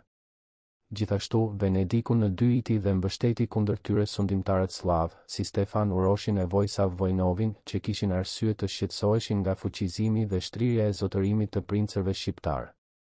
Përpjekjet për t'i shtrirë kufijtë e principatës drejt jugut i çuan Balshajt drejt përplasjes me fisnikë të tjerë shqiptarë, Dukagjinët, Zahariajt e sidomos Topijajt, zotër të Arbrit dhe, qysh nga viti një mijë e treqind e gjashtëdhjetë e katër, zotër edhe të Durrësit. Përplasja në mes dy principatave më të fuqishme shqiptare u bë e pashmangshme për sa kohë që edhe vetë Topjajt luftonin për të vënë nën kontroll qendrat, që tradicionalisht bënin pjesë në sistemin administrativo-ushtarak të Durrësit, në radhë të parë Lezhën. Në një betejë të zhvilluar aty nga muaji shtator i vitit një mijë e treqind e gjashtëdhjetë e katër Balshajt u thyen nga zotërit e Durrësit dhe vetë Gjergji I Balsha u zu rob. Me ndërhyrjen e Republikës së Raguzës, mike e dy shtëpive fisnike shqiptare, Gjergj Balsha u la i lirë dhe armiqësisë iu dha fund me martesën e Karl Topisë me Katerinën, motrën e Balshajve. Një qëndresë të fortë ndeshën edhe përpjekjet e Balshajve për t'u zgjeruar në veri të grykës së Kotorit, dhe sidomos për të pushtuar këtë qytet të fundit. Republika e Venedikut, Mbretëria e Hungarisë, Papati, sundimtarët sllavë të Kanalit, Zaklumjes e të Bosnjës dhe vetë Republika e Raguzës u bashkuan për t'i detyruar Balshajt të hiqnin dorë nga një ndërmarrje e tillë. Në këtë mënyrë, pas vitit një mijë e treqind e gjashtëdhjetë e tetë veprimet e vëllezërve Balsha u përqendruan në zgjerimin e zotërimeve të tyre drejt viseve të Kosovës dhe thellë në jug, në Despotatin e Vlorës.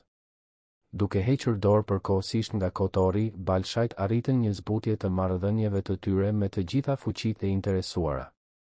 Me Republikën e Venedikut Balshajt i forcuan lidhjet në fushën tregtare dhe ushtarake. Në vitin një mijë e treqind e gjashtëdhjetë e nëntë Balshajt shpallën kalimin e tyre në ritin katolik për forcimin e lidhjeve me Papatin dhe me fuqitë katolike të Perëndimit, si dhe në vazhdën e lidhjeve që princërit e hershëm të Gentës, Dioklesë, kishin me këta të fundit.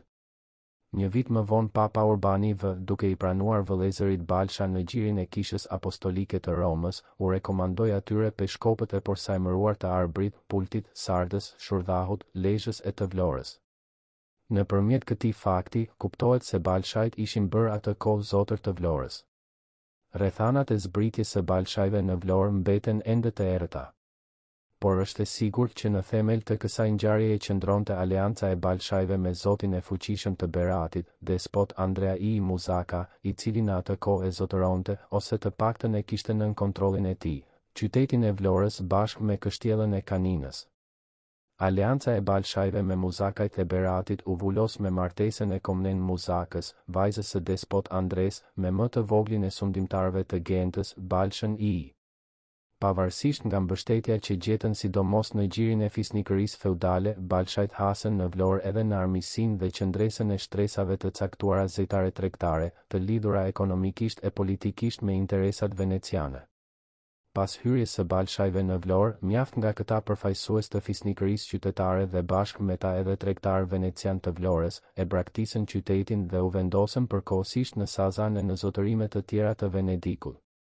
Kjo ngjarje shkaktoi një krizë të re në marrëdhëniet e Balshajve me Republikën e Venedikut.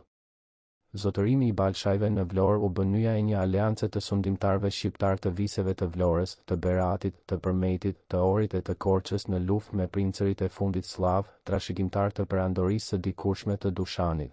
Në radhë të parë me mbretin Vukashin, sundimtar i viseve të Kosovës e të Maqedonisë deri poshtë në Kostur. Pas vrasjes së këtij të fundit, koalicioni i krerëve shqiptarë, të drejtuar nga Balsha ii dhe nga Andre Muzaka, i mori Mark Krajleviçit, të birit të Vukashinit, qytetin e Kosturit, një mijë e treqind e shtatëdhjetë e dy.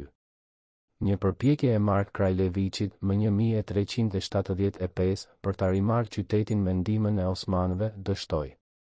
Kosturi mbeti edhe për disa vjet të tjerë nën qeverisjen e vëllezërve Stoj e Teodor Muzaka, djem të Despot Andresë dhe kunetër të Balshës ii. Tashmë jo vetëm Muzakaj, por edhe familje të tjera fisnike të trevave të Shqipërisë së Poshtme kishin hyrë nën sovranitetin e Balshajve. Këta të fundit arritën, po në fillim të viteve shtatëdhjetë, të shtrinë sundimin e tyre deri në rrjedhën e lumit Mat duke shkaktuar përsëri pakënaqësinë e Karl Topisë dhe në Kosovë, prej Prizreni dhe Peje deri në Kriva Rjeka, pranë Novobërdës.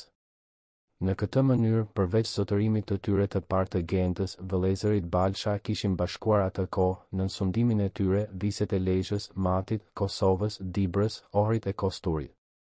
Autoriteti i tyre shtrihej në Vlorë dhe, nëpërmjet lidhjeve të vasalitetit apo aleancave familjare, në mbarë Shqipërinë e Poshtme. Ndikimi i tyre shtrihej te Zenebishtët e Gjirokastrës, apo te Shpatajt e Çamërisë e të Artës. Në këtë mënyrë, vëllezërit Balsha për herë të parë kishin bashkuar në një zotërim të vetëm pjesën më të madhe të trojeve shqiptare. Republikat e fuqishme të Venedikut e të Raguzës përpiqeshin të mbanin marrëdhënie të mira me Balshaj. Ato u kishin dhënë atyre qytetarinë e vetë Raguza u paguante atyre haraqin e përvitshëm të Shën Dhimitrit që dikur ua jepte mbretërve të Serbisë. Tribut të tillë u jepte Balshajve edhe qyteti i Kotorit. Mbreti serb i Rashës apo ai i Bosnjës u ndodhën shpeshherë në vështirësi përballë fuqisë së princërve shqiptarë të Gentës dhe nuk munguan t'u kërkojnë atyre paqe me kushte shpeshherë të rënda.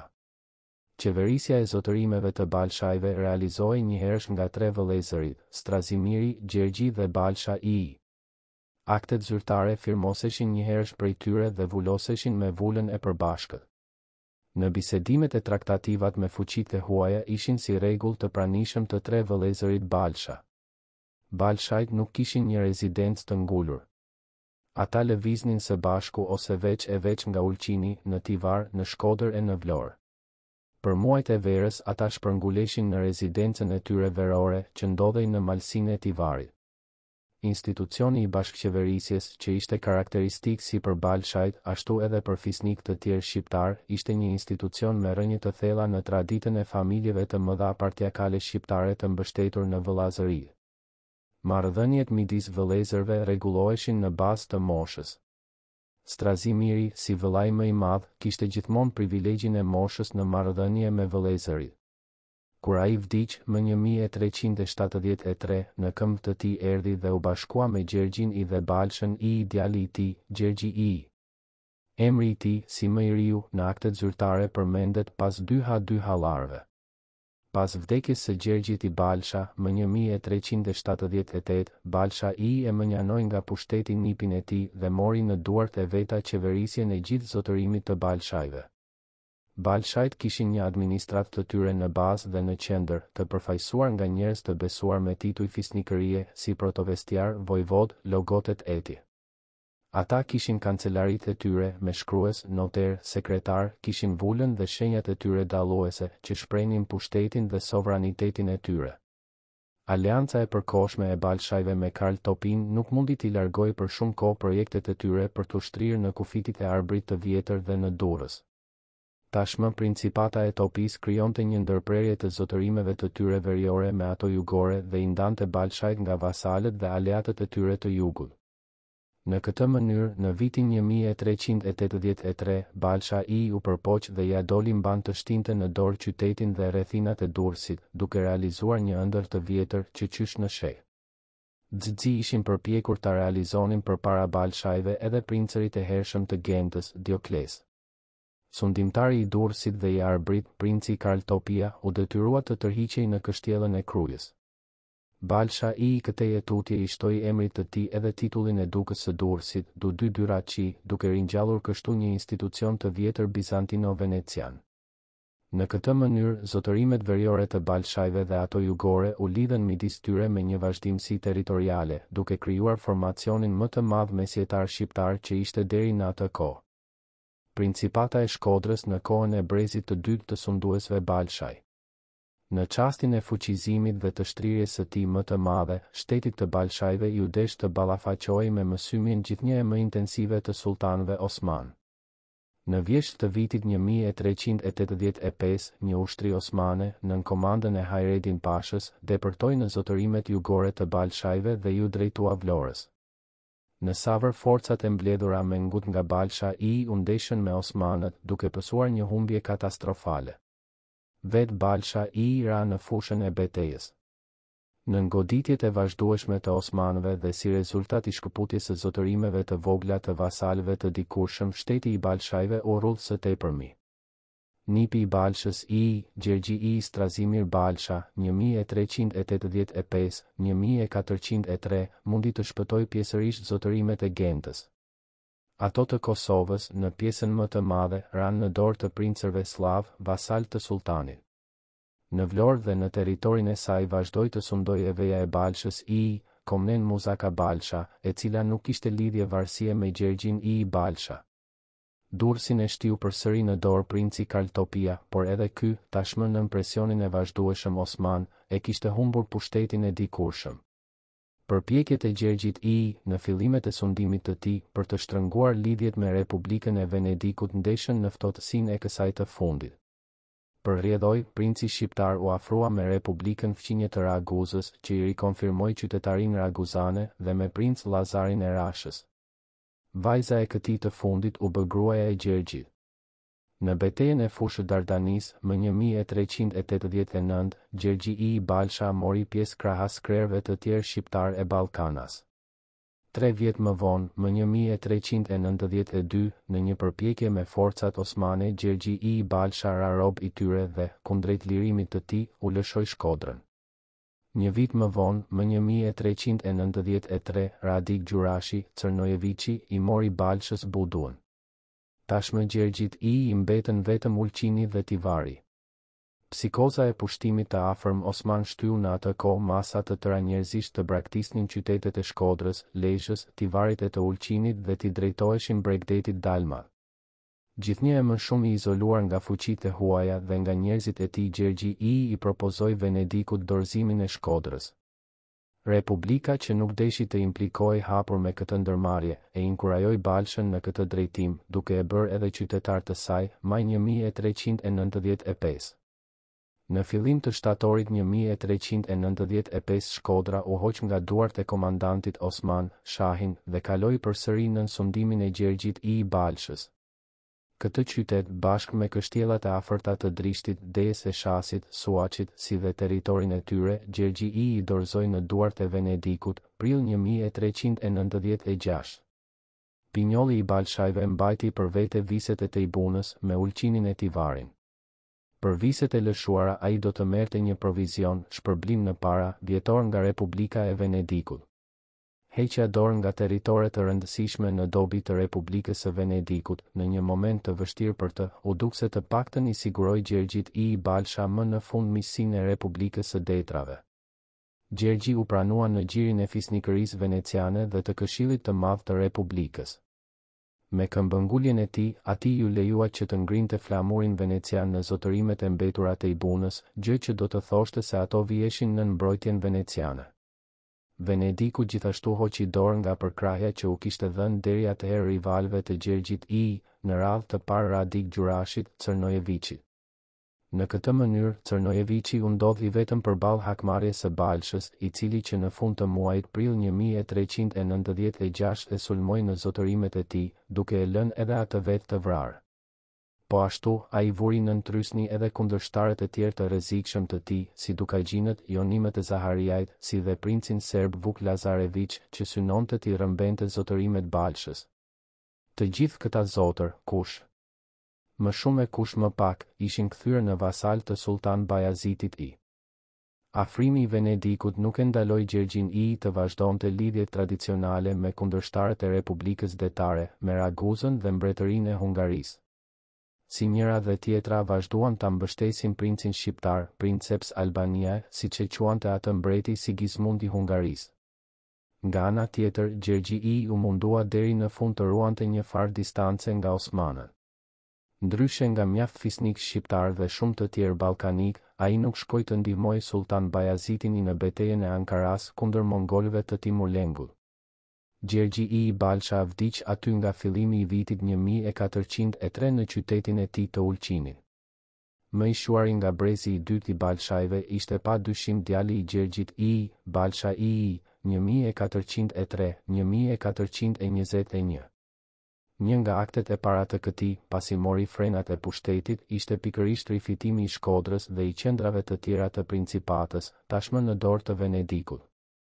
Në tetorin e vitit një mijë e katërqind e katër Shkodra dhe Drishti u morën me sulm nga Balsha. Republika e Venedikut u detyrua të mobilizonte flotën e saj dhe ta dërgonte urgjentisht në Shkodër. Njëherësh ajo joshi dhe shkëputi nga Balsha II aleatë e vasalë të tij, si Dukagjinët, Zahariajtë, Jonimët, Gjurashët e Gentës së Sipërme. Në këtë mënyrë, kundërmësymja e Venedikut përfundoi në korrik një mijë e katërqind e pesë me ripushtimin e Shkodrës e të Drishtit, si dhe të Ulqinit, Tivarit e të Budduës. Megjithatë, të ndërgjegjshëm për mbështetjen që kishte në të gjithë atë trevë Balsha II, i cili në shkurt mars një mijë e katërqind e shtatë rifilloi sulmet kundër tyre, venecianët u treguan të gatshëm t'i ofronin atij një paqe. Me ndërmjetësinë e Niket Topisë, vjehrrit të Balshës, paqja u nënshkrua në qershor një mijë e katërqind e tetë në kishën e Shën Laurentit, jashtë mureve të Durrësit. Garantë të paqes ishin ndër të tjerë Niket Topia, Teodor Muzaka i Beratit, Gjon Kastrioti e Merksha i Vlorës. Venediku pranoi t'i lëshonte Balshës Budun me rrethina, si dhe viset e tej Bunës. Venediku pranoi t'i jepte Balshës II një provizion vjetor prej një mijë e pesëqind dukatesh. Të dyja palët u morën vesh të bënin një amnisti të përgjithshme dhe të shkëmbenin robërit e luftës. Por Venediku nuk vonoi t'i shkelte kushtet e paqes. Në vitin një mijë e katërqind e dhjetë ai nënshkroi një paqe të shumëkërkuar me Osmanët.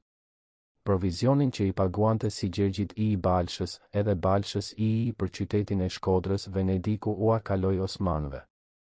I mbështetur nga popullsia e pakënaqur e viseve të Shkodrës, të Ulqinit e të Tivarit dhe nga mjaft krerë shqiptarë, që u bashkuan me të, Balsha I i rifilloi sulmet mbi zotërimet e Venedikut. Një flotë e tij arriti, madje, të depërtonte në Bunë dhe të futej në liqenin e Shkodrës në mars një mijë e katërqind e dhjetë.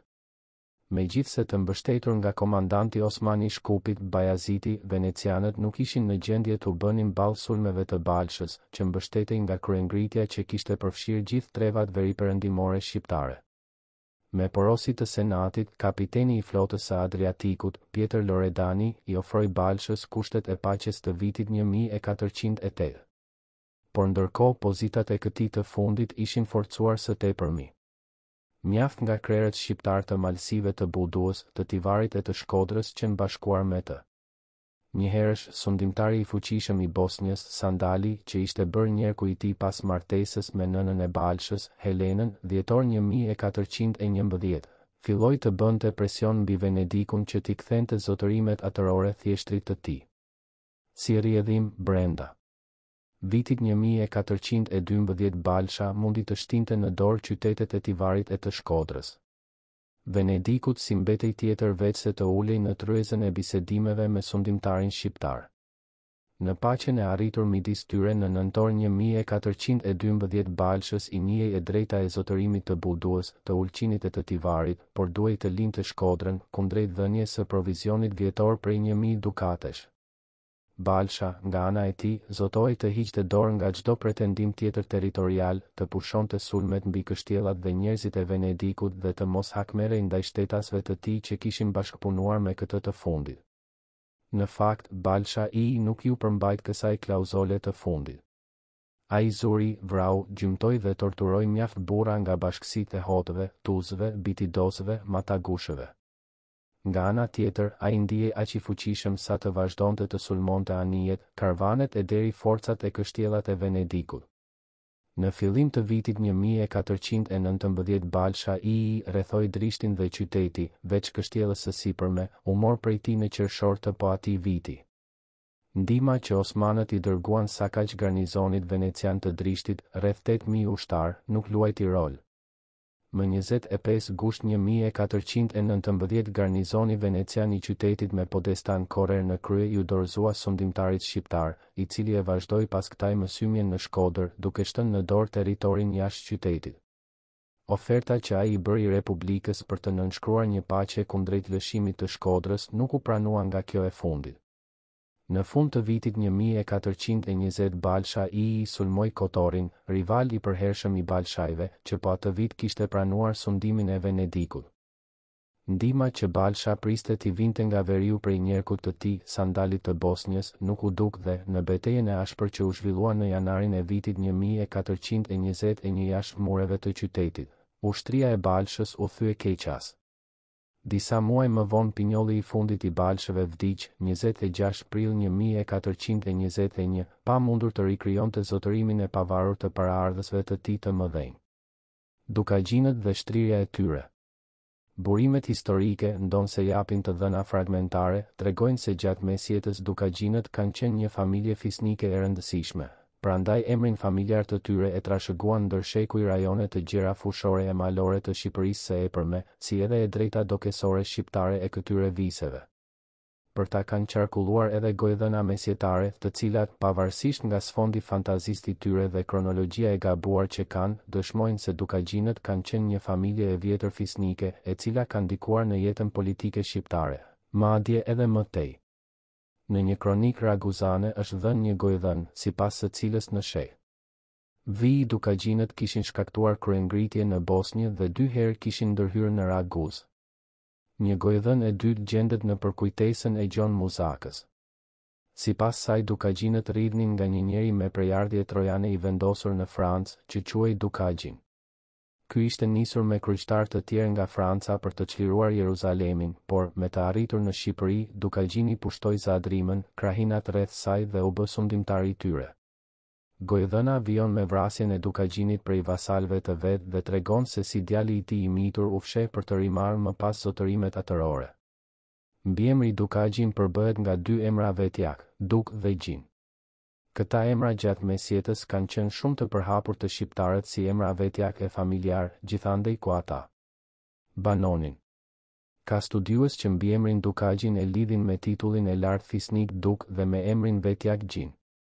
Sipas tyre mbiemri Dukagjin lidhet me një personazh historik, me. dukën arbër Gjin Tanushin du dy Ginius Tanusius Albanensis, i cili në një dokument të vitit një mijë e dyqind e tetëdhjetë e një përmendet si kundërshtar dhe i burgosur politik i pushtetit anzhuin në Shqipëri. Vetëm pas një shekulli shfaqet për herë të parë emri familjar Dukagjini. Këtë mbiemër, llagap, e kanë mbajtur gjatë she.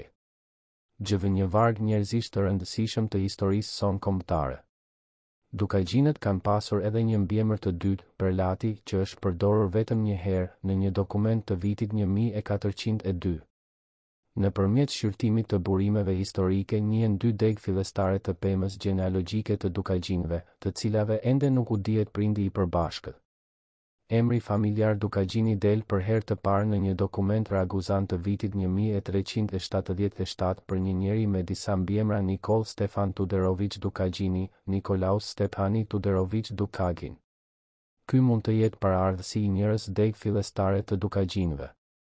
Përfaqësuesi i sigurt i njërës degë është Gjergji, që përmendet në vitin një mijë e katërqind e tre si pronjar i dy fshatrave pranë Lezhës, Balldre dhe Kakarriq, dhe si komandant i një trupe prej dyzet kalorësish dhe njëqind këmbësorësh.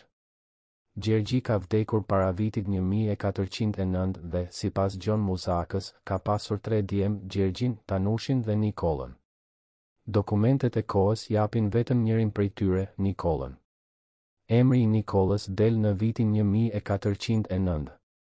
Ai në fillim të viteve tridhjetë u ngrit në luftë kundër serbëve dhe osmanëve dhe i dëboi ata nga Deja. Më pas mori pjesë në kryengritjen çlirimtare të vitit një mijë e katërqind e dyzet e tre dhe në Kuvendin e Lezhës, ku u bë personazh politik i rëndësishëm i vendit. Nikollë Dukagjini ka vdekur gjatë viteve një mijë e katërqind e pesëdhjetë e dy, një mijë e katërqind e pesëdhjetë e katër. Djemtë e tij, Draga dhe Gjergji, nuk arritën të kishin veprimtari politike, sepse në vitin një mijë e katërqind e gjashtëdhjetë e dy u vranë. Si pasardhës i vetëm i tyre mbeti djali i mitur i Gjergjit, Nikolla, i cili hyri në shërbim të Venedikut. Emrat e paraardhësve të degës tjetër të Dukagjinëve janë shkruar në një dokument raguzan të vitit një mijë e treqind e tetëdhjetë e shtatë. Në të është treguar se vëllezërit Lekë e Pal Dukagjini ishin zotër të Lezhës dhe se ata u siguronin raguzanëve kalimin nëpër trevat e tyre shqiptare. Pal Dukagjini ka vdekur para vitit një mijë e treqind e nëntëdhjetë e tre dhe la pesë djem, Tanushin e vogël, Progonin, Palin, Andrean dhe Gjonin. Pali përmendet vetëm në një dokument të vitit një mijë e katërqind e dy, ku dëshmohet se gjatë kthimit nga Venediku, ai është vrarë në Dalmaci. Kurse emrat e Progonit dhe të Tanushit të Vogël janë shënuar për herë të parë në të njëjtin dokument, një mijë e treqind e nëntëdhjetë e tre.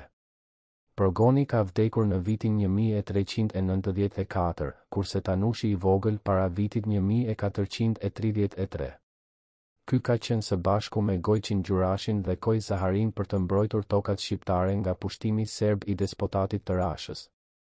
Andrea del në vitin një mijë e katërqind e gjashtë, kur Venediku i riktheu një dajlan në Shkodër, që e kishte marrë me ankan. Po me koncesion të Venedikut ai kishte edhe prona tokësore në rrethinat e Shkodrës. Në fillim të vitit një mijë e katërqind e gjashtëmbëdhjetë Andrea përmendet si i vdekur, kurse vëllai i tij, Gjoni, ishte prift dhe kishte prona tokësore në rrethinat e Shkodrës. Emri i Gjonit përmendet për herë të fundit më një mijë e katërqind e dyzet e gjashtë. Koncesionet e Venedikut për pronat zakonisht trashëgoheshin. Prandaj Andrea duhet të ketë pasur djalë sipërmarrësin Budomir, i cili në vitet njëzet të shek. XV ishte qiramarrës i dajlaneve të Shkodrës dhe, krahas tregtimit të peshkut, merrej edhe me tregtinë e metaleve që prodhoheshin në Kosovë dhe që përdoreshin gjerë në jetën e përditshme. Kështu, me argjendin e Kosovës, krahas monedhave dhe zbukurimeve, bëheshin edhe objekte të tryezës së ngrënies, si lugë, kupa, poçe, tasa etj. Një pasardhës i tyre, Budomiri, mori pjesë në luftën për mbrojtjen e Shkodrës më një mijë e katërqind e shtatëdhjetë e tetë. Pas rënies së qytetit gruaja dhe tre fëmijët e tij u strehuan në Venedik. Të dhënat burimore të drejtpërdrejta për degët gjenealogjike të Dukagjinëve mund të plotësohen edhe me të dhëna të tërthorta. Gjatë viteve tridhjetë të shek. XV shfaqet Vuk Dukagjini si figurë e rëndësishme e qytetit të Shkodrës, të cilit iu bënë dhurata nga administrata shtetërore e Raguzës në vitin një mijë e katërqind e tridhjetë e tre. Veç këtij, dalin edhe banorë të tjerë të qytetit të Shkodrës me mbiemrin Dukagjini, që janë dërguar herë pas here në Venedik si përfaqësues e mbrojtës të interesave të bashkësisë shkodrane pranë autoriteteve shtetërore veneciane. Njëri përmendet në vitin një mijë e katërqind e tridhjetë e një vetëm me emrin familjar Dukagjini, një tjetër, Teodor Dukagjini, në vitin një mijë e katërqind e pesëdhjetë e tetë është dërguar në Venedik etj. Ngarkimi i Dukagjinëve me misione të tilla të rëndësishme nga bashkëqytetarët tregon se ata respektoheshin shumë prej tyre dhe se ishin të arsimuar dhe njohës të mirë të gjuhëve të huaja. Dy Dukagjinët e parë, që mund të jenë i njëjti njeri, Vuku, duhet të jenë djem të Budomirit. Për Teodorin nuk dihen lidhjet familjare, ai mund t'i përkiste edhe degës së mësipërme ose një dege tjetër, sepse mund të ishte nip i Tanushit të madh. Teodori është vrarë në luftë për mbrojtjen e Shkodrës gjatë vitit një mijë e katërqind e shtatëdhjetë e tetë. Dega gjenealogjike e Lekë Dukagjinit ka lënë shumë gjurmë në jetën politike të Shqipërisë gjatë shek. GV, Vetë Leka ka të njëjtin vend në burimet historike sa edhe vëllai i vogël i tij, Pali. Të dy këta përmenden bashkë si zotër të Lezhës, një mijë e treqind e tetëdhjetë e shtatë, dhe si të vdekur, një mijë e treqind e nëntëdhjetë e tre. Leka la pas dy djem dhe një vajzë, Progonin, Tanushin e Madh dhe Boksën, e cila u martua me zotin e Dejës, Kojë Zaharinë.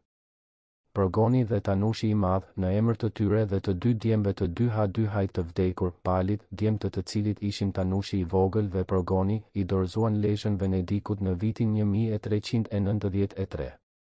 Progoni u martua me vajzën e Karl Topisë, Gojsllavën, dhe u vu në shërbim të Venedikut si kështjellar i Shasit, ku mbeti i vrarë para vitit një mijë e katërqind e dy.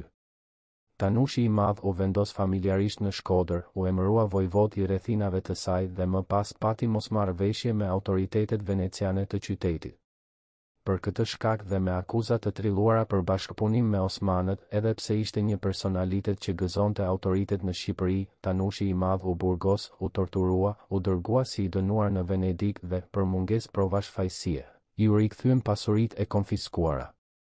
Megjithatë, më një mijë e katërqind e tridhjetë e tetë, ai u internua në Padovë dhe pas këtij viti nuk ka të dhëna për jetën e tij.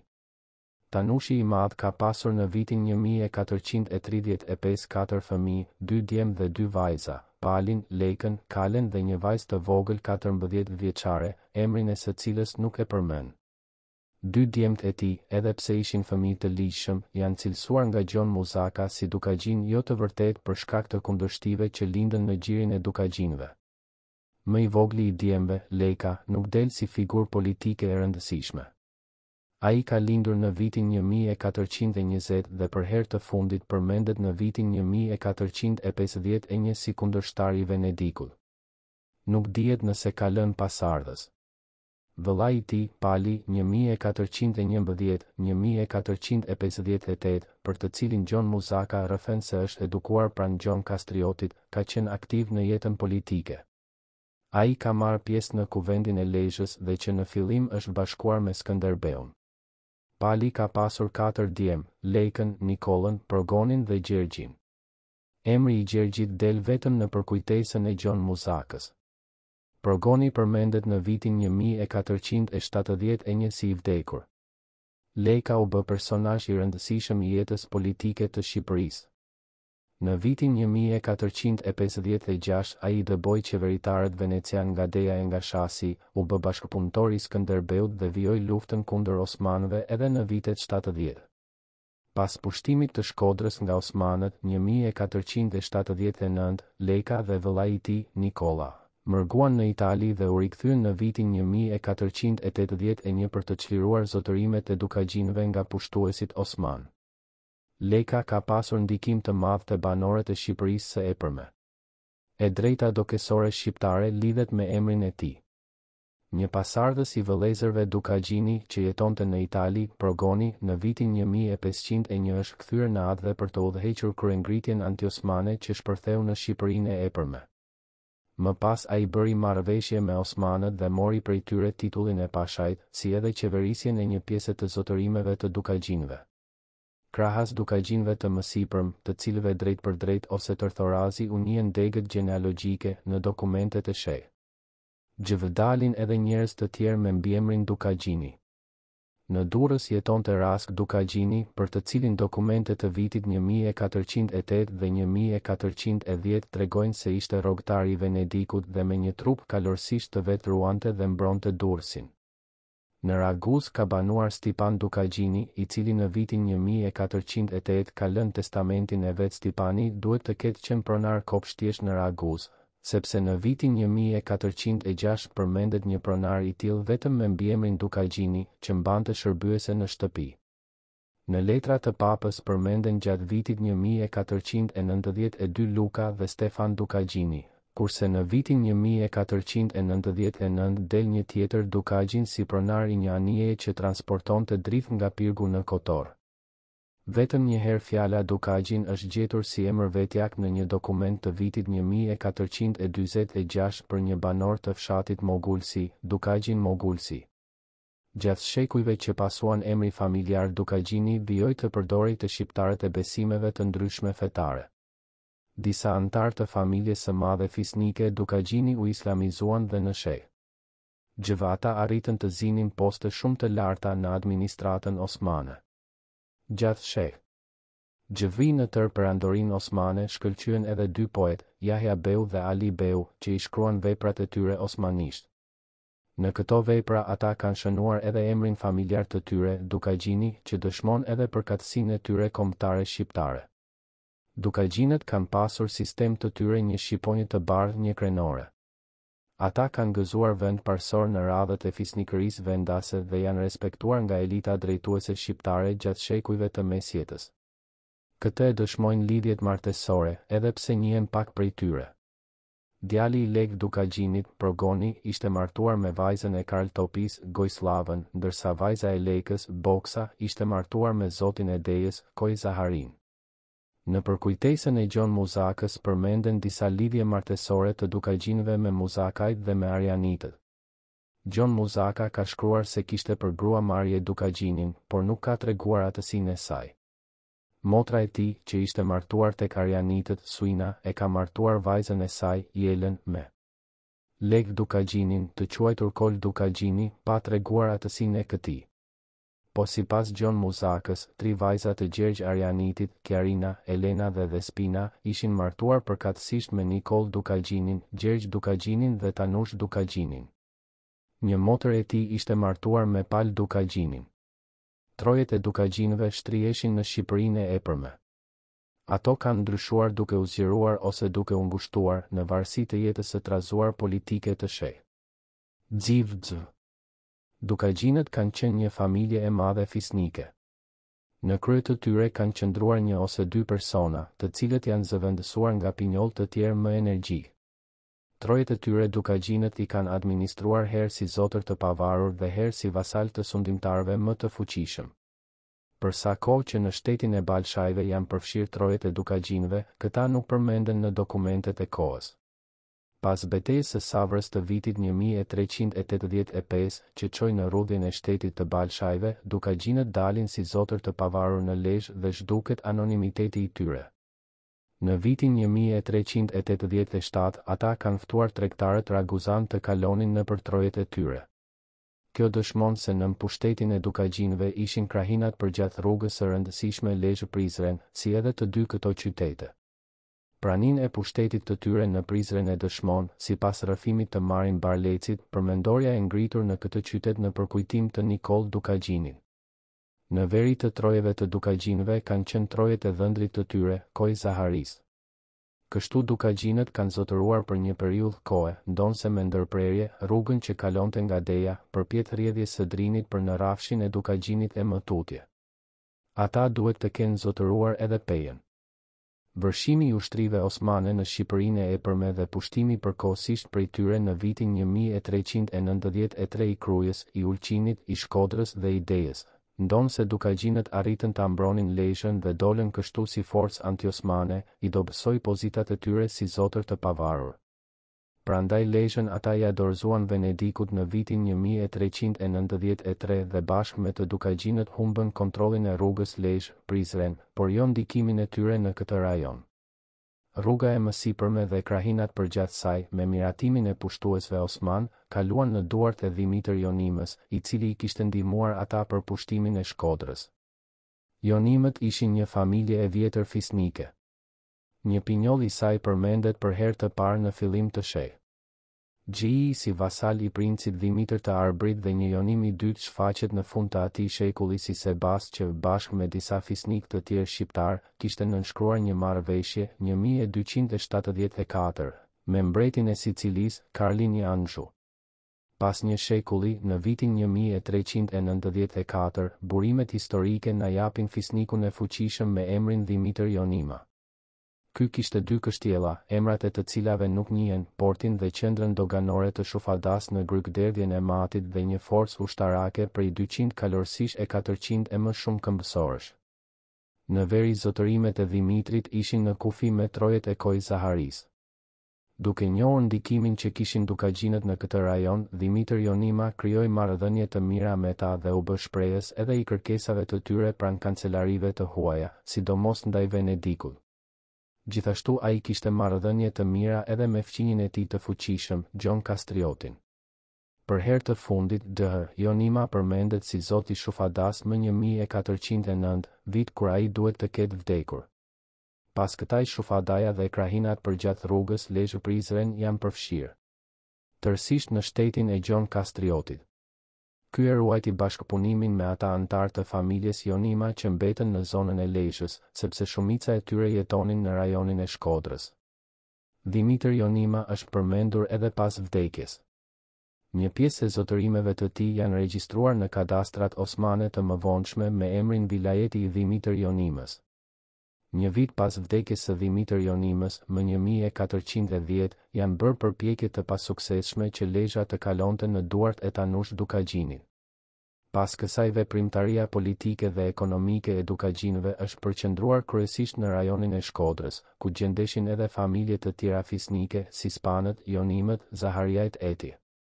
Në veprimtarinë politike të Zahariajve ka pasur një peshë të veçantë Boksa Dukagjini, gruaja e Kojë Zaharisë. Për herë të parë emri i familjes fisnike Zaharia del në vitet një mijë e treqind e tetëmbëdhjetë, një mijë e treqind e njëzet te Peshkopi i Shasit. Pas Peshkopit, burimet historike na njohin në fund të shek. XIV me Kojë Zaharinë. Veprimtaria politike e Kojës është e ngjashme me atë të Dhimitër Jonimës dhe të dy këta kanë bashkëpunuar me njëri-tjetrin. Koja përmendet në vitin një mijë e treqind e nëntëdhjetë e gjashtë si zot i kështjellës së Shasit dhe, më pas, si zot i Dejës e i ngushticave të rrugës përgjatë Drinit. Zotërimet e Kojë Zaharisë kufizoheshin në lindje me viset e pushtuara nga osmanët. Koja ka qenë vasal i tyre dhe kundërshtar i despotëve serbë të Rashës. Koja ka pasur një djalë, Lekën. Në këto treva shqiptare janë ndërthurur interesat e Zahariajve me ato të Dukagjinëve, që kufizoheshin me njëri-tjetrin. Ndërmjet këtyre dy familjeve fisnike, që jo rastësisht kanë qenë në krushqi, përgjithësisht ka pasur marrëdhënie bashkëpunimi të ngushtë. Pas vdekjes së Lekë Zaharisë në vitin një mijë e katërqind e dyzet e katër, meqenëse djali i tij, Koja, ishte i mitur, gjyshja e këtij, Boksa, doli në krye të familjes. Ajo kërkoi mbështetjen e Venedikut, duke i dorëzuar Republikës së Shën Markut Dejën, Shasin etj. Zotërimet që mbetën nga trashëgimia e Lekë Zaharisë kaluan në duart e Dukagjinëve. Këta morën në zotërim rrugën tregtare dhe krahinat përgjatë luginës së lumit Drin, si edhe një pjesë të konsiderueshme të rrafshit të Dukagjinit. Përkohësisht këto krahina ishin pushtuar nga despotati i Rashës dhe, pas shembjes së tij më një mijë e katërqind e tridhjetë e nëntë, u rimorën nga Zahariajt e Dukagjinët. Në veri të Dukagjinëve dhe të Zahariajve shtriheshin trojet shqiptare të Spanëve, që kanë qenë familje fisnike shumë e madhe. Emri familjar i tyre shfaqet për herë të parë në vitin një mijë e treqind e njëzet e dy te një shkodran. Në radhët e Spanëve kishte pronarë tokash, tregtarë, klerikë etj. Mbiemrin e tyre e mbanin edhe një varg familjesh të thjeshta. Si veçori e përbashkët e familjeve Spani, krahas mbiemrit, ishte se thuajse që të gjitha ato banonin në krahinat pranë rrugës së Gentës. Spanët kanë jetuar në qytetet dhe në krahinat e Shkodrës, Drishtit, Pultit, Pejës, Trepçës, etj. Një trevë në veri të lumit Drin del në dokumentet e fundit të shek. XV me emrin e përfaqësuesit më në zë të kësaj familjeje, Pjetër Spanit, Nahia e Pjetër Spanit, i cili ka qenë pjesëmarrës në Kuvendin e Lezhës. Krahas Balshajve, Kastriotëve, Dukagjinëve, Jonimëve, Zahariajve e Spanëve, në Shqipërinë e epërme ka pasur edhe një numër familjesh të tjera me peshë në jetën politike shqiptare, veçanërisht gjatë shek. XV. Këto familje kanë qenë Gjurashët, Cërnojeviçët, Dushmanët e Drishtit, Hotët, Shestanët etj. Të gjitha këto familje shqiptare kanë dalë në skenën politike në një periudhë shumë të trazuar, të shkaktuar prej ndërhyrjeve e pushtimeve të shteteve të huaja. gjatë dhjetëvjeçarëve të parë të shek. XV për jetën politike të Shqipërisë së epërme kanë qenë si më rrënimtare dy shtete, Perandoria Osmane dhe Despotati i Rashës, që ishte shtet vasal i të parit, madje një nga gratë e Sulltan Muratit II ka qenë edhe vajza e despotit serb.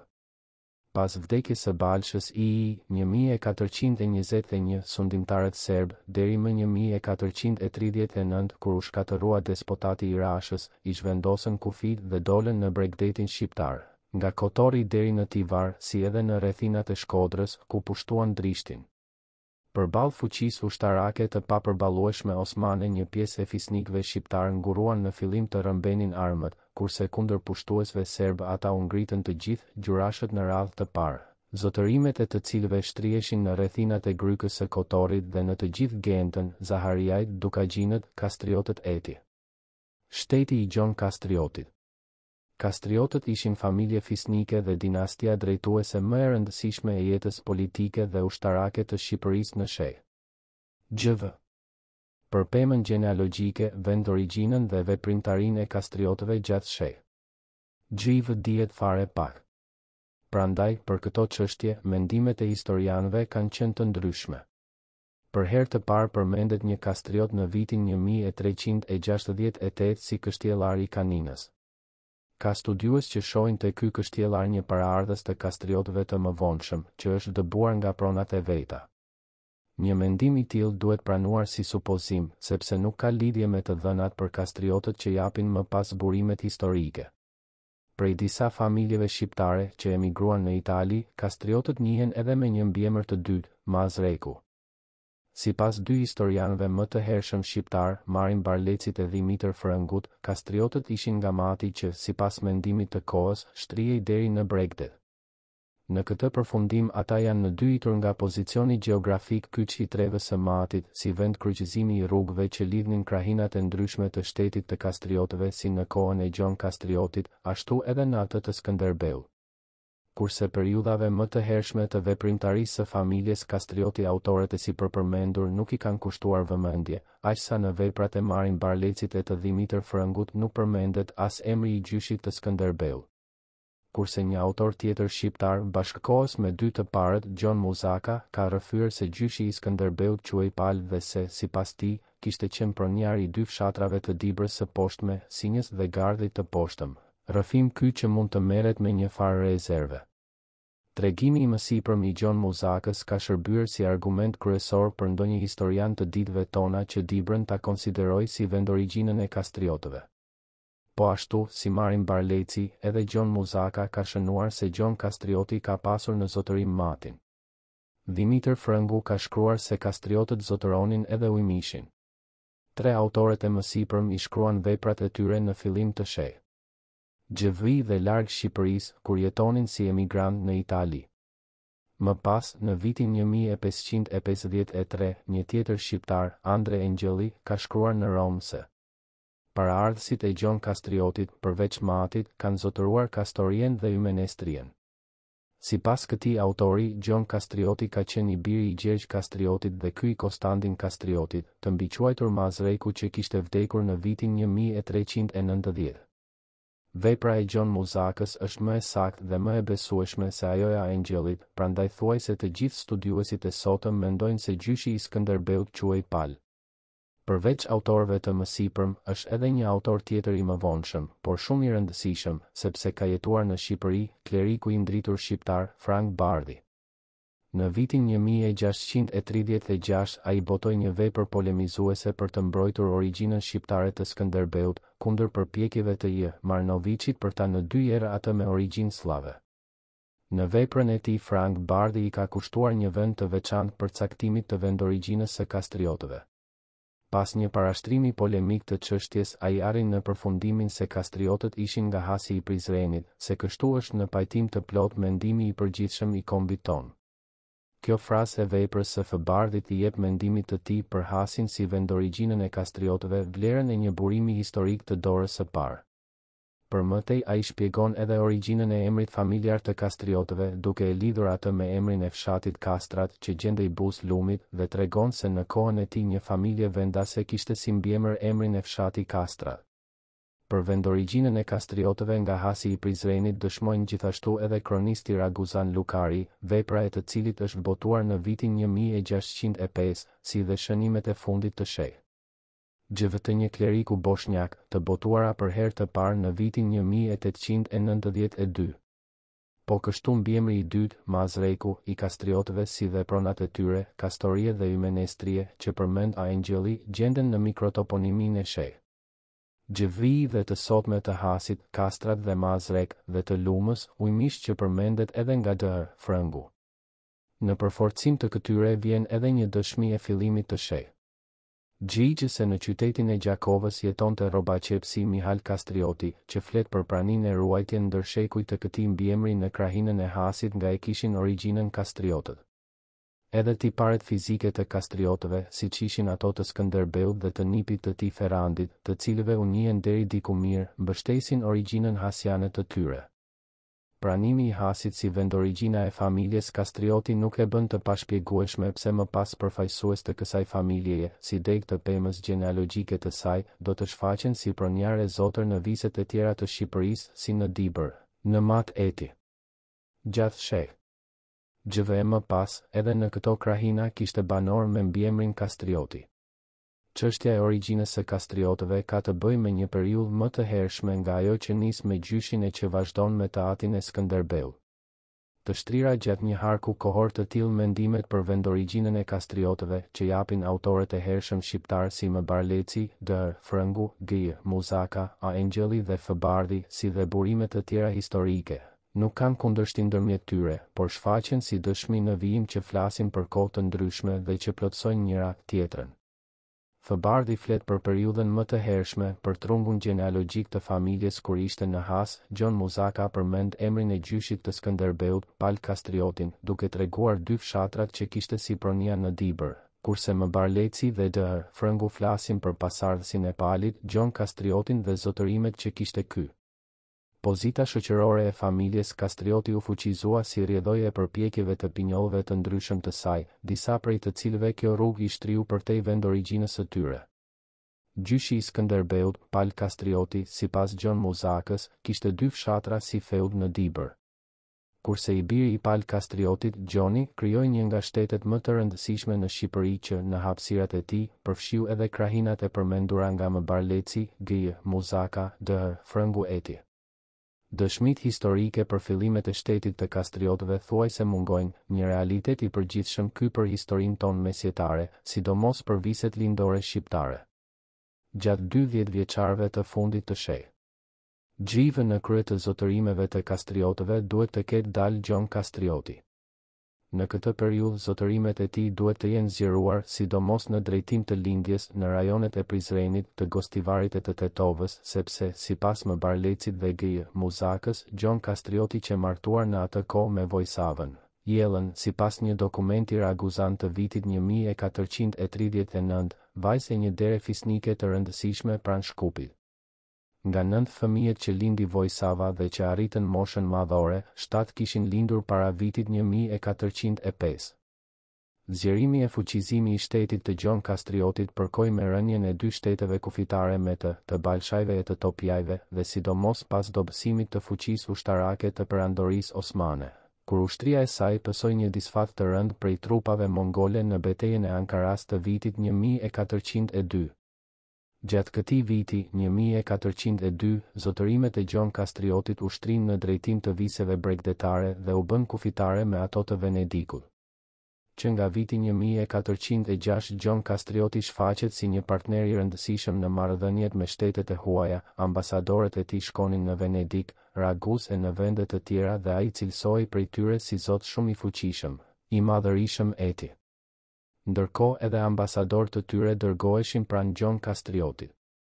Pushteti dhe ndikimi i tij mbi zotërit e tjerë ishin të fuqishëm, prandaj më një mijë e katërqind e tetë ai ishte i pranishëm si garant i paqes, që u nënshkrua në rrethinat e Durrësit, midis Venedikut dhe Balshajve.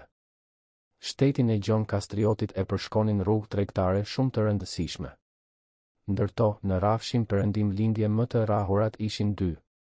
Njëra rrugë lidhte viset bregdetare me Prizrenin, që duhet të ketë qenë qendra administrative e shtetit të Gjon Kastriotit. Në këtë qytet të lashtë kryqëzoheshin rrugë tregtare shumë të rrahura dhe që shkonin në drejtim të Prishtinës, të Pejës, të Tetovës etj. Traseja e rrugës së dytë kalonte nga bregdeti nëpër krahinën e Matit, vijonte në drejtim të Dibrës dhe ndiqte rrjedhjen e sipërme të lumit Vardar për të arritur në Shkup. Në dokumentet mesjetare këto dy rrugë janë shënuar me emra të ndryshëm të qyteteve nga ato kalonin, Rruga e Lezhës, Rruga e Prizrenit, Rruga e Prishtinës dhe Rruga e Shkupit.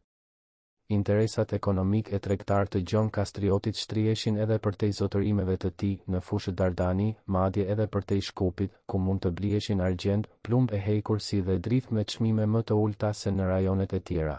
prodhime bujqësore të viseve të ngrohta si pambuk, oriz, susam etj. Kështu shpjegohen, psh, lidhjet e tij me manastirin e Hilandarit në Malin e Shenjtë, që gjendet në brigjet e Detit Egje. Këtij manastiri, Gjon Kastrioti i dhuroi në vitin një mijë e katërqind e njëzet e gjashtë dy fshatra nga pronat e veta në rajonin e. Gostivarit i bleu pirgun e Shën Gjergjit i njohur edhe me emrin pirgu shqiptar dhe në këtë manastir një nga djemtë e tij, Reposhi, e kaloi jetën si murg derisa vdiq më njëzet e pesë korrik një mijë e katërqind e tridhjetë e një. Në epigrafin e varrit, Reposhi mban titullin e lartë fisnik Dukë. për jetën ekonomike e politike të shtetit të Gjon Kastriotit ashtu si edhe të zotërimeve të fisnikëve të tjerë shqiptarë si dhe ato të Republikës së Venedikut, rëndësi parësore kishin raportet e tyre me kryekomandantin osman të Shkupit dhe, nëpërmjet tij, me sulltanin. Në marrëdhëniet me fqinjin e vet lindor e shumë të fuqishëm ushtarakisht, Gjon Kastrioti duhej të ndiqte një politikë shumë të kujdesshme. Edhe bejlerbeut të Rumelisë i interesonte që deri diku të kishte mirëkuptim me Gjon Kastriotin, sepse në shtetin e tij, nëpër një terren të vështirë e me prita të shumta, kalonin rrugët tregtare më të shkurtra për në brigjet e detit Adriatik, të cilat, në atë kohë, nuk mund të mirëmbaheshin e të ruheshin nga askush tjetër, veçse nga vendasit. Në rrethana të tilla, gjatë dhjetëvjeçarëve të parë të shek. XV Gjon Kastrioti arriti të fuste nën bindjen e tij disa familje fisnike të njohura të Shqipërisë së epërme dhe u bë figura politike kryesore e botës shqiptare të këtyre rajoneve. Zgjerimet e pushtimeve osmane në viset lindore shqiptare bënë që Gjon Kastrioti dhe familje të tjera fisnike shqiptare të mos ndiheshin të sigurta, prandaj filluan të përforconin veprimtarinë politike të tyre në viset perëndimore, si dhe të zgjeronin lidhjet me forcat antiosmane e shtetet e huaja. Qysh në fillim të shek. XV burimet historike tregojnë se në kufijtë e shtetit të Gjon Kastriotit ishin përfshirë qyteti i rëndësishëm i Prizrenit bashkë me rrethinat e tij, krahinat përgjatë rrugëve Prizren, Prishtinë dhe Prizren, Tetovë, ato të Matit e të Mirditës dhe se ai kishte siguruar daljen në detin Adriatik në afërsi të zotërimit venecian të Lezhës.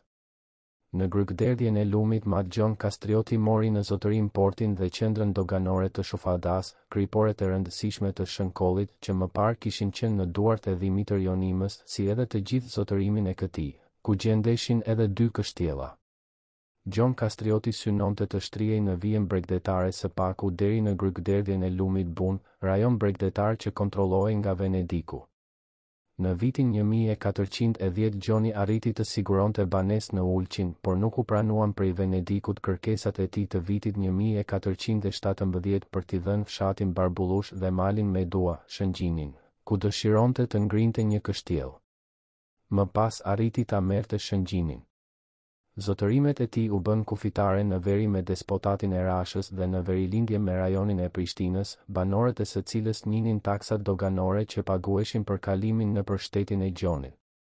Në jug zotërimet e Gjon Kastriotit kufizoheshin me ato të Arianitëve dhe të Topiajve, kurse në lindje me viset që ishin nën pushtuesit osmanë, të cilët, përveç Shkupit, zotëronin në perëndim të tij kështjellën e Tetovës. Pjesa më e madhe e fushës përgjatë rrjedhjes së sipërme të lumit Vardar e në perëndim të Tetovës për një kohë mbeti nën zotërimin e Gjon Kastriotit, të cilën M. Barleci e ka emërtuar Dibra e Poshtme.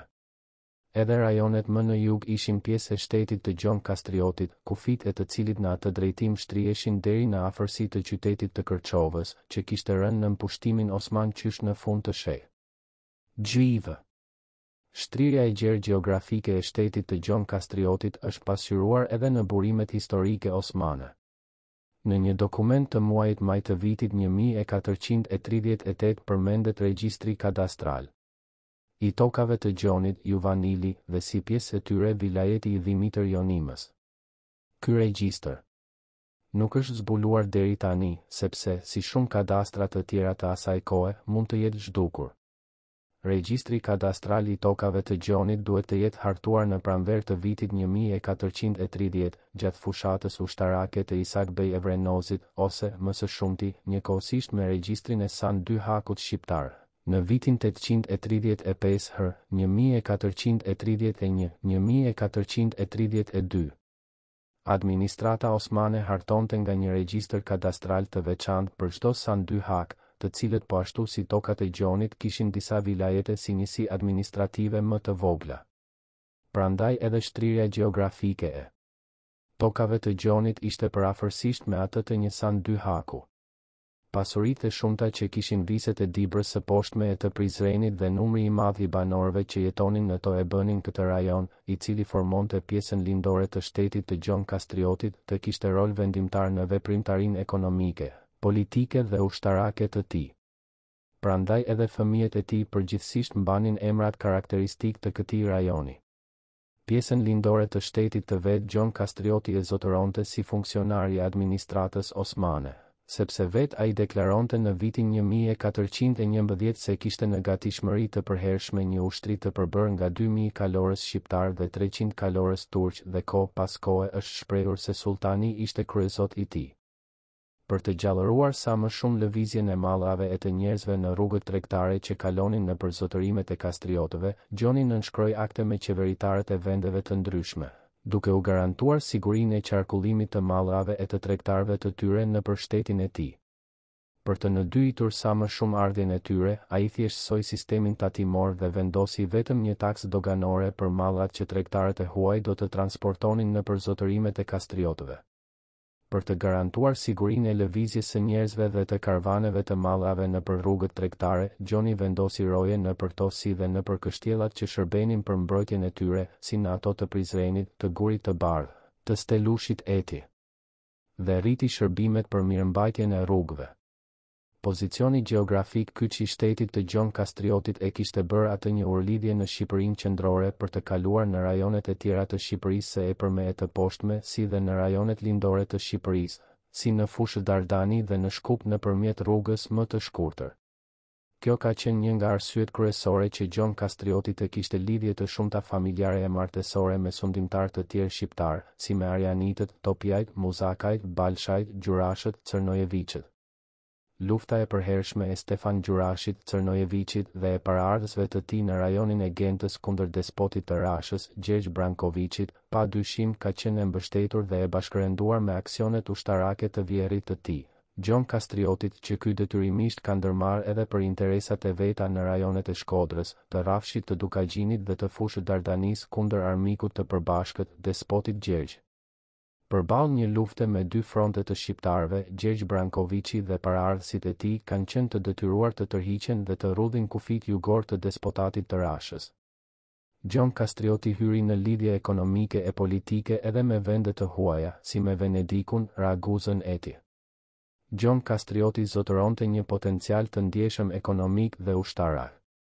Të ardhurat kryesore vinin nga sistemi tatimor feudal që nënshtetasit e tij tradicionalisht ishin të detyruar t'i jepnin kryezotit të tyre me prodhime në natyrë, me të holla dhe me punë angari.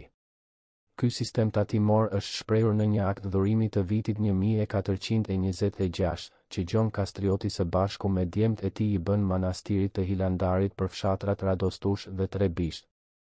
në të thuhet, duke dhuruar në dobi të manastirit këto dy fshatra, unë i liroj ato nga çdo angari e madhe dhe e vogël, me të gjitha detyrimet për haraçin mbretëror dhe taksat e shtetit dhe të gjitha këto ia jap manastirit të shenjtë, të mos ketë as qefali, as zot, as psar e të mos japin të dhjetë as për drithë, as për verë, as për mjaltë, as dhuratë në para, as para për kullotë, as për të dhjetë bagëtish. kështu që kisha t'i marrë të gjitha të drejtat mbi këto fshatra sipas ligjit. Krahas sitemit tatimor të mësipërm, Gjon Kastrioti siguronte të ardhura të rëndësishme nga doganat, tregtia e drithit, e metaleve, e kripës etj. Gjon Kastrioti ndoqi një politikë aktive për zgjerimin e fuqizimin e shtetit të tij, me gjithë kushtet e vështira që ishin krijuar prej sulmeve e pushtimeve osmane.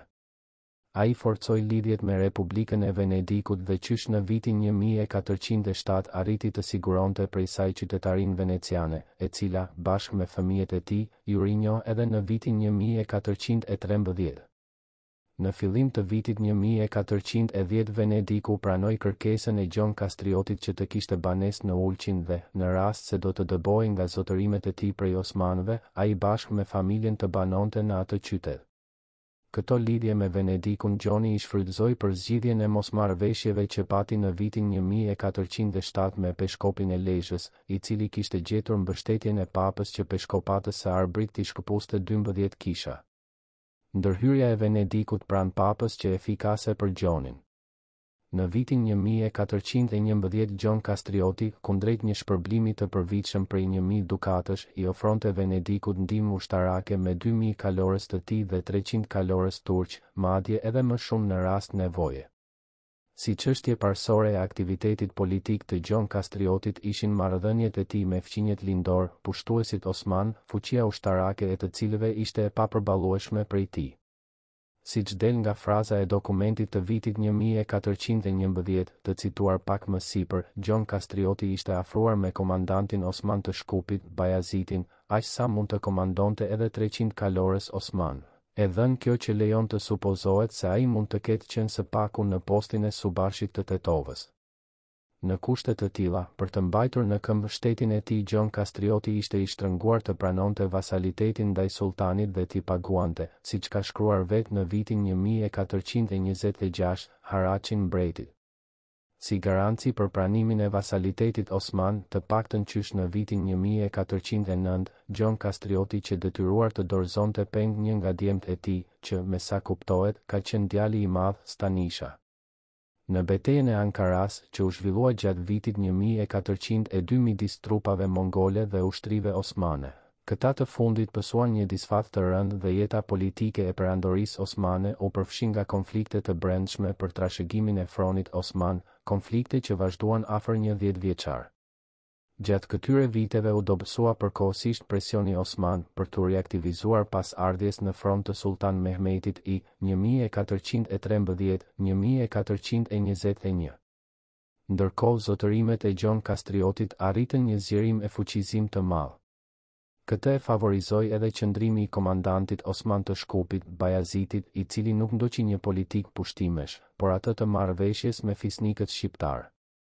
Pas vdekjes së tij në vitin një mijë e katërqind e katërmbëdhjetë, ai u zëvendësua nga i biri, për veprimtarinë e të cilit është vështirë të thuhet diçka. Gjatë viteve në vijim rol të veçantë në drejtimin e veprimtarisë politike e ushtarake të Pasha San dy Hakut të Shkupit do të kishin Isak Bej Evrenozi dhe i biri i tij, Isa Beu. Evrenozët ishin një familje shumë e pasur. Vetëm në Shkup ata kishin mbi njëqind dyqane. Gjatë disa dhjetëvjeçarëve si ushtarakë të lartë osmanë, evrenozët u përpoqën të kontrollonin rrugët tregtare të vendit që të fuqizoheshin ekonomikisht gjithnjë e më shumë. Në fillim të vitit një mijë e katërqind e pesëmbëdhjetë kaloi në duart e osmanëve Kruja, e cila kishte një pozicion shumë strategjik dhe kontrollonte segmente të rrugëve tregtare që lidhnin Shkupin me bregdetin shqiptar si dhe viset perëndimore të vendit. Prandaj pushtimi i Krujës dëmtoi rëndë interesat e fisnikëve të Shqipërisë qendrore dhe të epërme, sepse tani zotërimet e tyre nga çasti në çast mund të pushtoheshin prej osmanëve. Rëndë u goditën edhe zotërimet e Gjonit, sepse osmanët mund të zotëronin rrugën tregtare që kalonte nëpër Mat e Dibër për të arritur në Shkup, e kontrolluar deri në atë kohë prej kastriotëve. Sidoqoftë, Gjoni u tregua mjaft i kujdesshëm në marrëdhëniet e tij me osmanët. për të mbrojtur interesat e shtetit të tij dhe për të mënjanuar përplasjen me ta, kur Kruja ra në duart e osmanëve, Gjoni dërgoi djalin e tij të vogël, Gjergjin, si içogllan, pazh, pranë oborrit osman. Në këtë mënyrë ai evitoi për disa vjet konfrontimet me osmanët. kurse Republika e Venedikut vendosi që t'i jepte një tribut vjetor prej dyqind dukatësh subashit turk të Krujës, që ky të mos sulmonte Durrësin dhe të mos prekte kriporet e shumta të këtij qyteti. Me gjithë përpjekjet e Gjonit për të pasur marrëdhënie sa më të mira me sulltanin, ai nuk hoqi dorë nga masat mbrojtëse. Në nëntor të vitit një mijë e katërqind e shtatëmbëdhjetë Gjoni i kërkoi më kot Venedikut që të përballonin së bashku sulmet e mundshme osmane dhe i premtonte se ishte i gatshëm të vinte në dispozicion të një aksioni të përbashkët të gjithë luftëtarët dhe kështjellat e veta. Në këto rrethana Gjon Kastrioti i kushtoi vëmendje të veçantë bashkëveprimit me fisnikët shqiptarë. kur në vitin një mijë e katërqind e tetëmbëdhjetë Balsha III i shpalli luftë Republikës së Shën Markut për të rimarrë Shkodrën dhe Drishtin, Gjoni mbajti anën e tij dhe qenë të paefektshme përpjekjet e Venedikut gjatë viteve një mijë e katërqind e nëntëmbëdhjetë, një mijë e katërqind e njëzet për ta larguar atë nga Balsha. Konflikti midis Balshës III dhe Venedikut në rajonin e Shkodrës pengoi lëvizjen e tregtarëve shqiptarë, raguzanë etj. dhe qarkullimin e mallrave në drejtim të Kosovës, ku nxirrej e përpunohej ari, argjendi e plumbi dhe ku çmimi i prodhimeve të shumta bujqësore ishte më i ulët në krahasim me çmimet që ato kishin në viset perëndimore.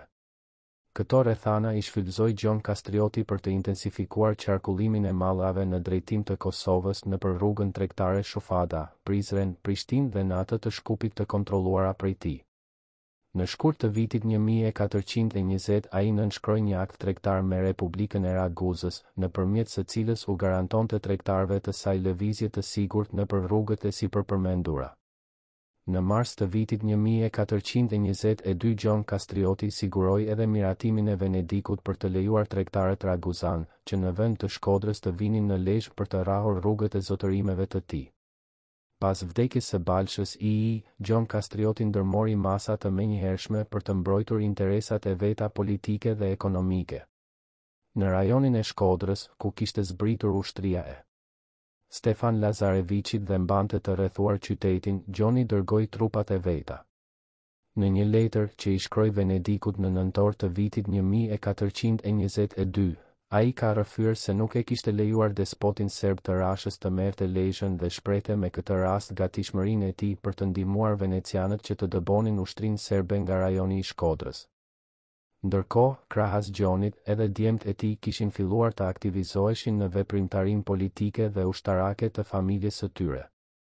Burimet historike tregojnë se gjatë vitit një mijë e katërqind e njëzet e dy një nga djemtë e tij komandonte trupat e kastriotëve në rrethinat e Shkodrës. Kurse në vitin një mijë e katërqind e njëzet e tetë përmendet një djalë i Gjon Kastriotit i bërë turk e musliman, që kishte trupa ushtarake pranë zotërimeve të Venedikut po në rajonin e Shkodrës. Interesat ekonomikë dhe politikë të shtetit të kastriotëve e nxitën Gjon Kastriotin që t'u kushtonte vëmendje edhe rajoneve të tjera shqiptare, të cilat nuk ishin kufitare me zotërimet e tij. Jo lidhjet familjare që kastriotët kishin me Balshajt, po pikërisht interesat ekonomikë e shtynin Gjon Kastriotin t'i përkrahte vazhdimisht ata, madje duke dërguar edhe ushtrinë e tij në ndihmë të tyre. Edhe pas vdekjes më një mijë e katërqind e njëzet e një të Balshës ii, që ishte kushëri i tij, Gjoni vazhdoi lidhjet me fisnikët e tjerë shqiptarë të zotërimeve të Balshës ii, si me Gjurashët, Cërnojeviçët, që i kishin zotërimet fillestare në rrethinat e Grykës së Kotorrit dhe që më pas i shtrinë edhe në Gentë, me të cilët lidhi krushqi. Gjurashët u angazhuan në një luftë shumëvjeçare kundër përpjekjeve të despotatit të Rashës për pushtimin e viseve bregdetare shqiptare, që shtriheshin në veri të lumit Buna. Ndërkohë edhe Gjon Kastrioti kundërshtoi synimet e despotëve serbë për marrjen e Lezhës dhe për zgjerimin e pushtimeve të tyre në rrafshin e Dukagjinit dhe në Fushë Dardani. Pesha dhe roli i shtetit të Gjon Kastriotit në jetën e vendit erdhi gjithnjë duke u rritur. Fuqizimin më të madh ai e arriti në kohën kur në krye të tij doli djali i vogël i Gjonit, Gjergj Kastrioti Skënderbeu.